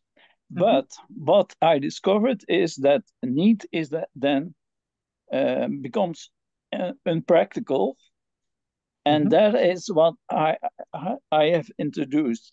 So um, I didn't like the lines for, uh, like need uh, A, need B, need C, mm-hmm. need mm-hmm. D, and uh, dus I uh, decided that um, loading a word at a time that is uh, uh, pleasant, but you can use strings. But uh, in a, as a practical uh, as a practical matter uh, I have introduced once, and then the rest of the lines are uh, things that uh, I want uh, to Yeah. have. Yeah. Thank, thank you very much for the explanation again, because I was wondering why Want uh, actually does this. Uh, and I find this very beneficial because now we have Need, which just takes a single token, and Want that takes the rest of the line. There's no name clash, so we can have both. Uh, uh, that that is quite nice, and it's quite easy to implement Want um, in terms of Need. Uh, because you have to parse the rest of the line and, and look at the tokens um, and Yeah. then do, do whatever is necessary. Yeah, great. Thank you very much for, for the comment. Um, Christian, you have questions. Okay, um, your presentation brought me back to a word called overlays in something that was probably some kind of Forth on Apple II. uh, what's the relation between? Why did it bring bring back the concept of overlay when you talked about your word need? Do you remember what overlays were? I know what overlays are. I worked extensively with them.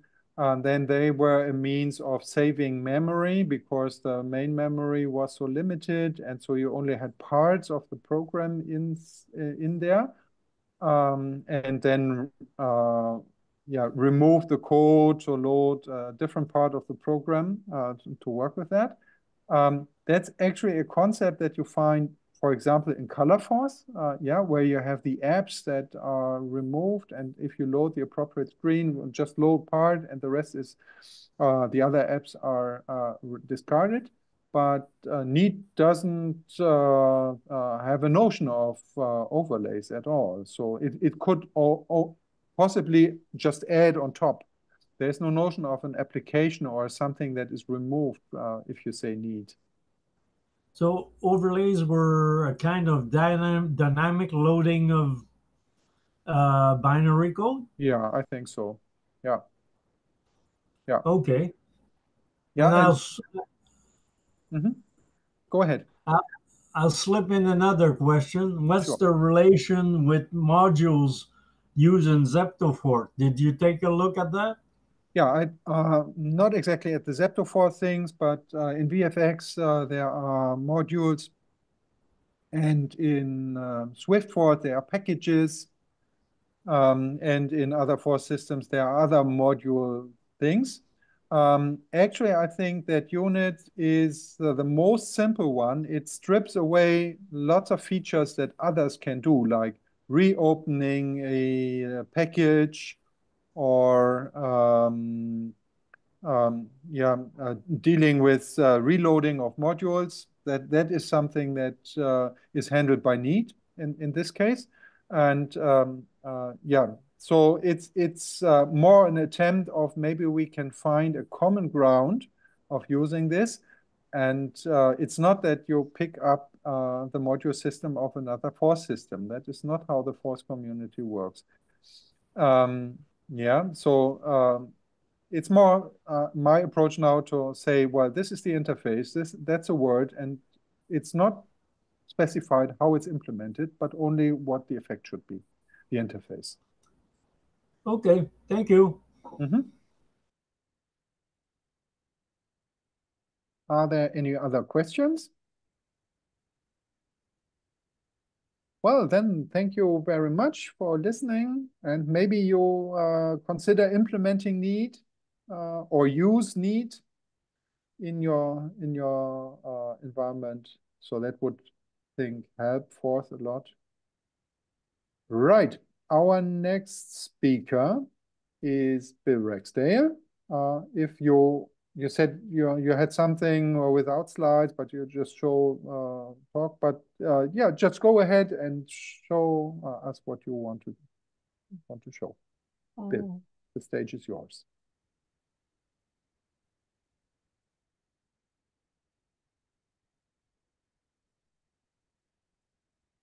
All right, it's come through on the screen.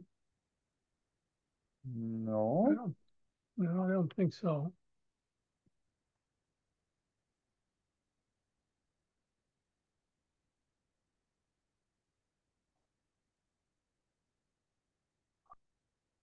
Oh, I did hit the share button.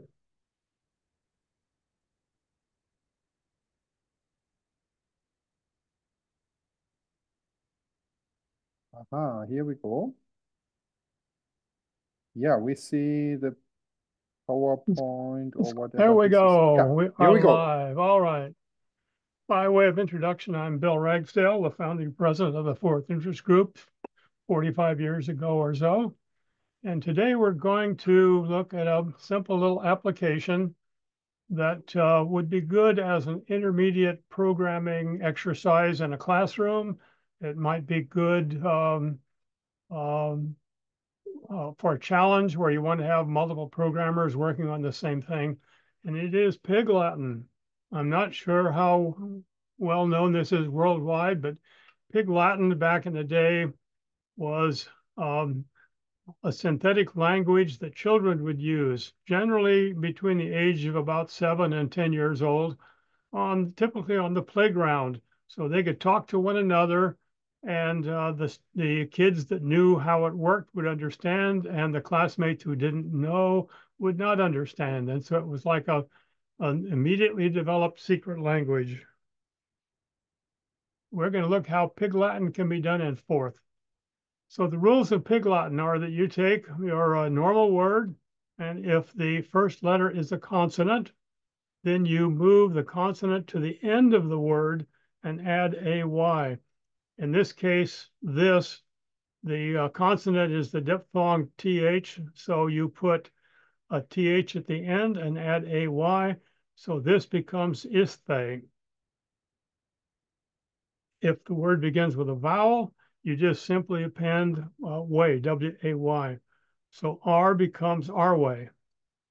So with this, in a matter of uh, 20 minutes or so, with a little bit of practice, you can learn to speak Pig Latin.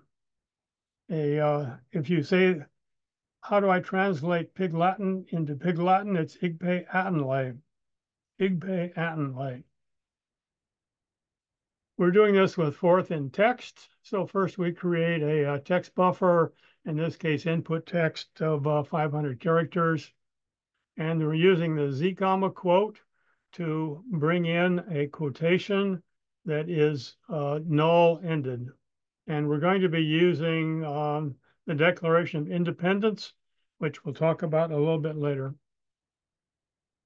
And then we need an output, output buffer. So for our output text buffer, uh, likewise, we have a uh, 500 byte array, which we create, name, and erase. The uh, top level of this is that when we have the uh, line of text available, uh, the word run uh, sets up those, those values, and then it examines character by character and then passes that uh, character by character while there is a non-null character into word process. And that takes care of the whole word. And then we uh, display the output, see what do we got. The uh, first case is to check for vowels. So uh, the part of the word process is uh, check for vowels at A, E, I, O, U, Y. And if we encounter the first letter is a vowel, then we apply the word for vowel action, which we'll see in a moment. Otherwise, we apply a consonant action.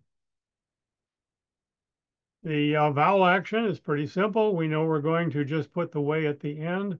So in the case of the word, we already have the word in the output buffer. We, um, we, we the greater than a word uh, passes the word to the output buffer, and then we simply append W-A-Y and a blank at the end. So that's translated a word beginning with a vowel. Uh, the uh, words beginning with a consonant are a little bit more involved. In that case, um, uh, we, we do the in out where we move the letter to the end, and then we copy the uh, beginning part of the letter uh, to the output. So our results, the uh, Declaration of Independence is one that we often use in the Forth language uh, for text. Um, and it is from the Gettysburg Address that President Lincoln gave in 1863 in the middle of the United States Civil War. And he is looking forward toward the implementation of the Forth language on a nationwide basis. because he said, Fourscore and seven years ago, our fathers brought forth upon this continent a new nation. And ever since then, uh, we have uh, harked back to Lincoln's words on the introduction of Forth. The translation of this, I'll uh, try to read, but you can see how it is with the um, the uh, four as the word first word is Orphe, where we take that F, put it at the end AY. So it's Orphe, or Quartze, Andway, Even A, Yearsway, Aguway, Arway, Othersway, Roughsbay, Horthbay, Onway, Histe, Huntingdon, K, Away, Enway, Haitian Nay. So um, to the untrained ear, it does sound like a foreign language, but to children on a playground, uh, it can be a lot of fun. And do we have any questions? Oh, the, the, the questions. First, I used the, the input string was null delimited. It becomes easier to parse letter by letter, just looking for null at the end. And the output, of course, we're going to display it. So that format is better as a counted string. And upper lowercase letters are a bother, so I just set all the output to lowercase. And do we have any questions or comments? Thank you very, very much. Good. I'll return this to Ulrich. Thank you very much for your kind attention. So, are there any questions? Uh, if you're going to if you're going to do a, a, little class exercise introducing Forth uh, from a tech standpoint, this is this is a, this is a very straightforward, very cute, clever uh, way. Mm -hmm. Only two. I just saw in the output that you didn't uh, move the th uh, on the word this. Both well, left uh, to the, the first, end. The, the, first one I mentioned was the diphthong th. So yeah. you do have to detect the um, one le the, the letter combinations that are actually two letters pronounced as one, and so uh, I did it in a fairly straightforward way here. Um, there are, I believe, I did an expanded code on that, and I believe there are about 11 of the uh, two-letter combinations you have to process. Okay. Mm -hmm. Thank you very much. been a Christian, pleasure. Christian, did you have a question? You raise your hand. I'll say again, yes. do they have a what? Well, it's more a comment. I could have used this uh, probably 69 years ago in primary school.